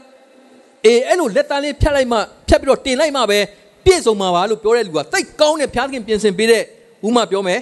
ပေါ်ဆန်းမွေးထမင်းခွက်ထဲမှာကြက်သားစီပြန်နဲ့နော်ထည့်ထားတာကိုဘာလှုပ်လိုက်တာနဲ့တူလဲဆိုရှင်မစင်တစ်စက်ထည့်လိုက်တာနဲ့တူပဲအဲ့တော့ပေါ်ဆန်းမွေးထမင်းနဲ့ကြက်သားစီပြန်နဲ့ထည့်လိုက်တာပြက်သွားလားမပြက်သွားလားပြက်သွားတယ်အဲ့လိုပဲကားတိုင်းမှာအပြစ်ကြွေးပေးစတာမလုံတော့ပါဘူးငါလက်တမ်းပဲ ဖြတ်ပြီးတော့တင်လိုက်မှာပဲလို့ပြောတဲ့လူကဘုရားခင်လှုပ်ဆောင်ပေးတဲ့အရာအားလုံးကိုဖျက်ဆီးလိုက်တာ ਨੇ အတူတူပဲဘာမှလက်တမ်းဖြတ်ပြီးတော့တင်စရာမလိုဘူးဘာမှလှုပ်စရာမလိုဘူးရိုးရိုးလေးပဲယုံကြည်လက်ခံရုံပဲတော့လားအဲ့တော့ငါဟာအပြစ်ရှိတယ်အပြစ်သားဖြစ်တယ်အပြစ်ဒဏ်စီရင်ငရဲမှာခံမယ်အဲ့တော့အပြစ်ဒဏ်စီရင်ငရဲမှာခံမယ်ကိုစားခရစ်တော်ငါကိုစားအသေးခံတယ်အပြစ်ကြွေးကိုပေးဆက်တယ်အပြစ်ငရဲကနေငါကိုရွေးနှုတ်ကယ်တင်တယ်လို့မိရဲ့ကယ်တင်မှန်ရှင်သူသောဖျားပြည့်ယုံကြည်လက်ခံလို့ရှိရင် ငရဲသွားစရာမလိုတော့ဘူးကောင်းကင်ဒုက္ခချမ်းသာပုံသွားမယ်ဆိုတော့တော်တော်နောင်ရင်းနဲ့ပတ်သက်စိတ်ချတဲ့အာမခံချက်ကိုဘုရားသခင်ပြင်ဆင်ပေးကဲနောက်စာသားတွေကိုကျွန်တော်ကြည့်ပြီးတော့ဖတ်ရအောင်ခုနရှင်းပြသွားတဲ့စာသားတွေပဲဖြစ်တယ်ကဲအားလုံးကြည့်အောင်တကယ်ရှိလောကကိုဘာအတွက်ကြွလာလဲဘာအတွက်ကြလာလဲဟုတ်ပြီကဲဒီနေ့ညမှာဘာသာတရားကိုတီထောင်ဖို့ကြွလာတယ်လို့ပြောလားကဲဘာသာတရားဆိုတာဘာနဲ့တူလဲပြည့်ညတ်တော်နဲ့ဖွဲ့စည်းတာတော့ဘာလောက်ခိုင်းတာလဲလောက်ခိုင်းတဲ့ တရားဖြစ်တယ်လူတွေကိုဝင်လေပင်ပန်းစီလားမပင်ပန်းစီဘူးလားမင်းဟိုဟာလို့ဒီဟာလို့ဟိုဟာလို့မှရမယ်ဒီဟာလို့မှရမယ်လို့ तू ကပင်ပန်းစီလားမပင်ပန်းစီဘူးလားဘာသာတရားဆိုတာလူတွေကိုခိုင်းစားတဲ့တရားလောက်ခိုင်းတဲ့တရားဖြစ်တယ်ခရစ်တော်ကတော့ဘာလုပ်လဲ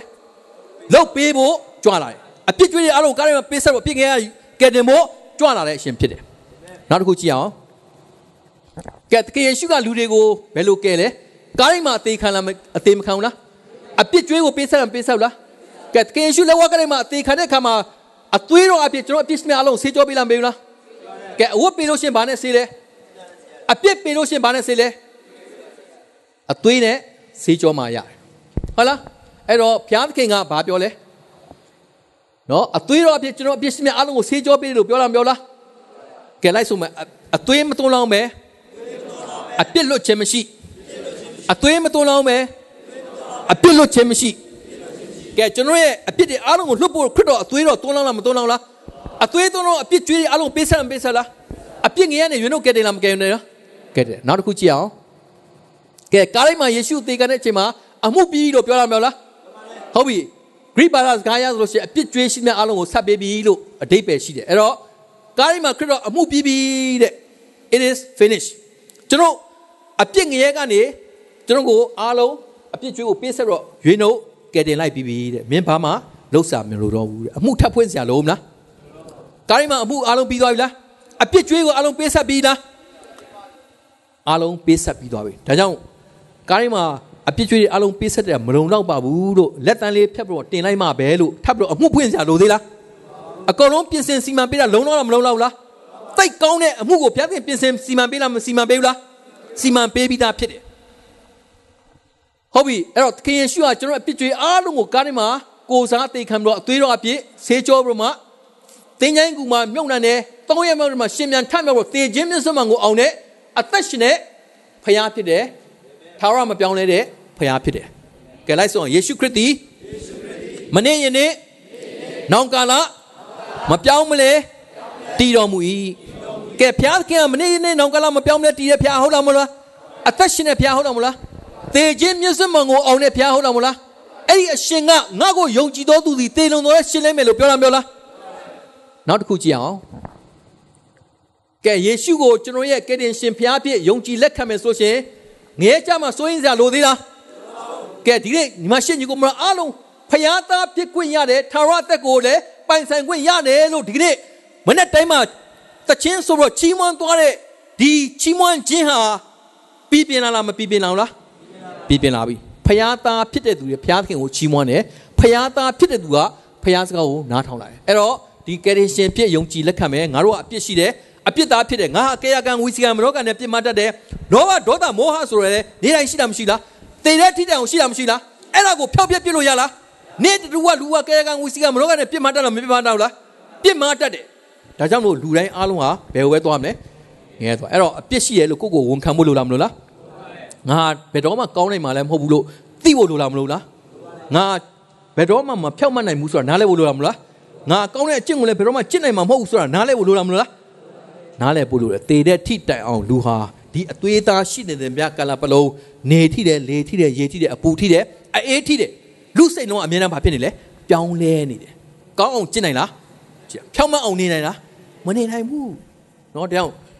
ကျွန်တော်ဟာဘယ်တော့မှကောင်းတဲ့အချင်းကိုလည်းจิตနိုင်မှာဘယ်တော့မှလည်းဖြောက်မှတ်နိုင်မှာမဟုတ်ဒါကြောင့်ကျွန်တော်အပြစ်ကြွေးတွေအားလုံးကိုပေးဆက်တော့ကျွန်တော်အပြစ်ငယ်ကနေရွေးနှုတ်ကဲတင်တဲ့အရှင်ကိုယုံကြည်လက်ခံတဲ့ခါမှာကျွန်တော်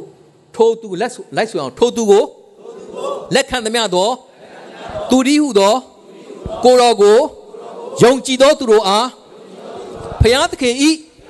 သားဖြစ်ရသောအခွင့်ကိုပေးတော်မူ၏ခရစ်တော်ကိုယုံကြည်လက်ခံတဲ့သူကဘု து သားဖြစ်သွားတယ်လို့ပြောလဲဖယားသားဖြစ်သွားဘု து သားဖြစ်သွားတယ်လို့ပြောလဲ အရင်တော့ကဘာသားလဲအာရနဲ့ဧဝံကနေစဉ်းစားတာဘာသားလဲအပြစ်သားအာရနဲ့ဧဝံစဉ်းစားတာဘာသားလဲအပြစ်သားအခုသခင်ယေရှုကိုယုံကြည်လက်ခံတဲ့ကြောင့်ဘု து သားဖြစ်သွားလဲဖယားသားအပြစ်သားကနေဘာသားကိုဖြစ်သွားလဲအပြစ်သားကနေဘာသားကိုပြောင်းလဲပေးလိုက်တယ်ဖယားသားဖြစ်ပြောင်းလဲပေးလိုက်တယ်ကဲအေဖက်နစ်ရှစ်ကိုမှာလိုက်ဆိုအောင်ယုံကြည်သောအဖြစ်ဂျေဇုတော်ကြောင့်ကယ်တင်ခြင်းတို့ရောက်၏ကိုလိုလျောက်ရောက်သည်မဟုတ်ဖယားသခင်တနာတော်မူရာဖြစ်သည် ကိုကုသို့ကြောင့်ကယ်တင်တော်မူခြင်းတို့ရောက်သည်မဟုတ်တို့ဖြစ်၍အဘယ်သူများဝါကြွားစရာအခွင့်မရှိကဲဖယားအပိုင်းကနေပြုလုပ်ပေးတဲ့ဂျေဇုတော်ဆိုရက်သခင်ယေရှုကိုလက်ဝတ်ထဲမှာအသေးခံတော့အပြစ်ကြိုးပေးဆက်ပြီးတော့မှအပြစ်ငယ်ကနေရွေးနှုတ်ခဲ့တယ်။အဲ့တော့လူအပိုင်းကနေဘာလို့မလဲ။ယုံကြည်လက်ကငါငါအပြစ်ရှိတယ်အပြစ်သားဖြစ်တယ်အပြစ်တန်စီငယ်မှာခံရမယ်။ငါအပြစ်ကြွေးလို့ပေးဆက်တဲ့အရှင်ကိုအပြစ်ငယ်ကနေရွေးနှုတ်ခဲ့တဲ့အရှင်ကိုကယ်တင်ပိုင်ရှင် တဆူသောဖျားဖြစ်ယုံကြည်လက်ခံမယ်။လူအပိုင်းကနေအဲ့လိုလက်ခံတဲ့အခါမှာအကျိုးရလာပါရလဲ။ထာဝရတက်ကိုရလာမလား။ငရဲကနေလွတ်လာမလို့လား။ကောင်းကင်ဒုက္ခကြမ်းသားဘုံကိုဝင်ခွင့်ရလာမလား။ဖျားသားဖြစ်လာမလို့လား။ဖျားသားဖြစ်တယ်အဲ့တော့ကျမ်းစာကရောက်ရမယ်လို့မပြောဘူးရောက်ရဤလို့ပြောတဲ့အတွက်မို့စိတ်ချလားစိတ်မချလားယုံတဲ့အချိန်ကနေစပြီးတော့ကယ်တင်ရလားမရလား ယုံတဲ့အချိန်ကစပြီးတော့ကျွန်တော်ကယ်တင်ရင်ရပြီးသားဖြစ်တယ်ကယ်တင်ကိုရောက်ပြီးသားဖြစ်တယ်ဆိုတာကိုနားလဲစေချင်တယ်နော်ဒါကြောင့်ချစ်တော်ညီကိုမောင်တို့ဒီနေ့ညီကိုမောင်တို့အပြစ်ကြွေးတွေအားလုံးကားထဲမှာပေးဆက်တဲ့အရှင်အပြစ်ငရဲကနေရွေးနှုတ်တဲ့အရှင်တမန်တော်နောင်နဲ့ပတ်သက်ပြီးစိတ်ချတဲ့အာမခံချက်ကိုပေးတဲ့အရှင်လောကမှာဘယ်လူပုဂ္ဂိုလ်မှကျွန်တော်မကယ်နိုင်ဘူးနော်ဘယ်ဂိုင်းကနမှကျွန်တော်မကယ်နိုင်ဘူးဘယ်ဘာသာရေးပုံကိုမှကျွန်တော်ကိုမကယ်နိုင်ဘူးဘယ်အဖွဲ့အစည်းမှကျွန်တော်ကိုမကယ်နိုင်ဘူး ဘယ်အကြီးကဲမှကျွန်တော်ကိုမကယ်နိုင်ဘူးကျွန်တော်ကိုဖိမဲ့လူပဲရှိတယ်နှိမ့်မဲ့လူပဲရှိတယ်နော်ကျွန်တော်ပုံမှာကောက်ကျစ်မဲ့သူပဲရှိတယ်လက်စားမဲ့သူပဲရှိတယ်ဒီနေ့ဖယားသခင်ကတော့ကျွန်တော်ကိုအပြစ်ငယ်ကနေရွေးနှုတ်ခဲ့တယ်နဲ့အပြစ်ကြွေးတို့ကားရမပေးစတော့ကျွန်တော်ကိုကောင်းကင်ဒုက္ခချမ်းသာကိုပို့ဆောင်ပေးတဲ့ဖယားဖြစ်တယ်ဒါကြောင့်ငါ့ကိုယုံကြည်တော်သူသည်သေလွန်တော်လဲရှင်လိမ့်မည်ငါကိုယုံကြည်အသက်ရှင်တော်သူရှိမြတ်တို့လည်းသေခြင်းနဲ့အစင်မပြတ် ကင်းလို့ကြလိမ့်မည်သေခြင်းနဲ့အစင်မပြတ်ကင်းလို့မယ် praise the lord သေခြင်းနဲ့အစင်မပြတ်ကင်းလို့ဘယ်တော့မှမသေဘူးထာဝရဒုက္ခချမ်းသာဘုံမှာထာဝရသက်ရှင်တဲ့ဖျားတဲ့ကလူကဘာအဆက်ဆက်ကျွန်တော်စိုးစားတဲ့ခွင့်ကိုဖျားခင်ပြင်ဆင်ပေးမယ်ဆိုတဲ့အာမခံချက်ကိုဒီရောက်စတဲ့ကိုဝင်ထားပါတယ်အားလုံးကိုဖျားခင်ကောင်းချီးပေးပါစေ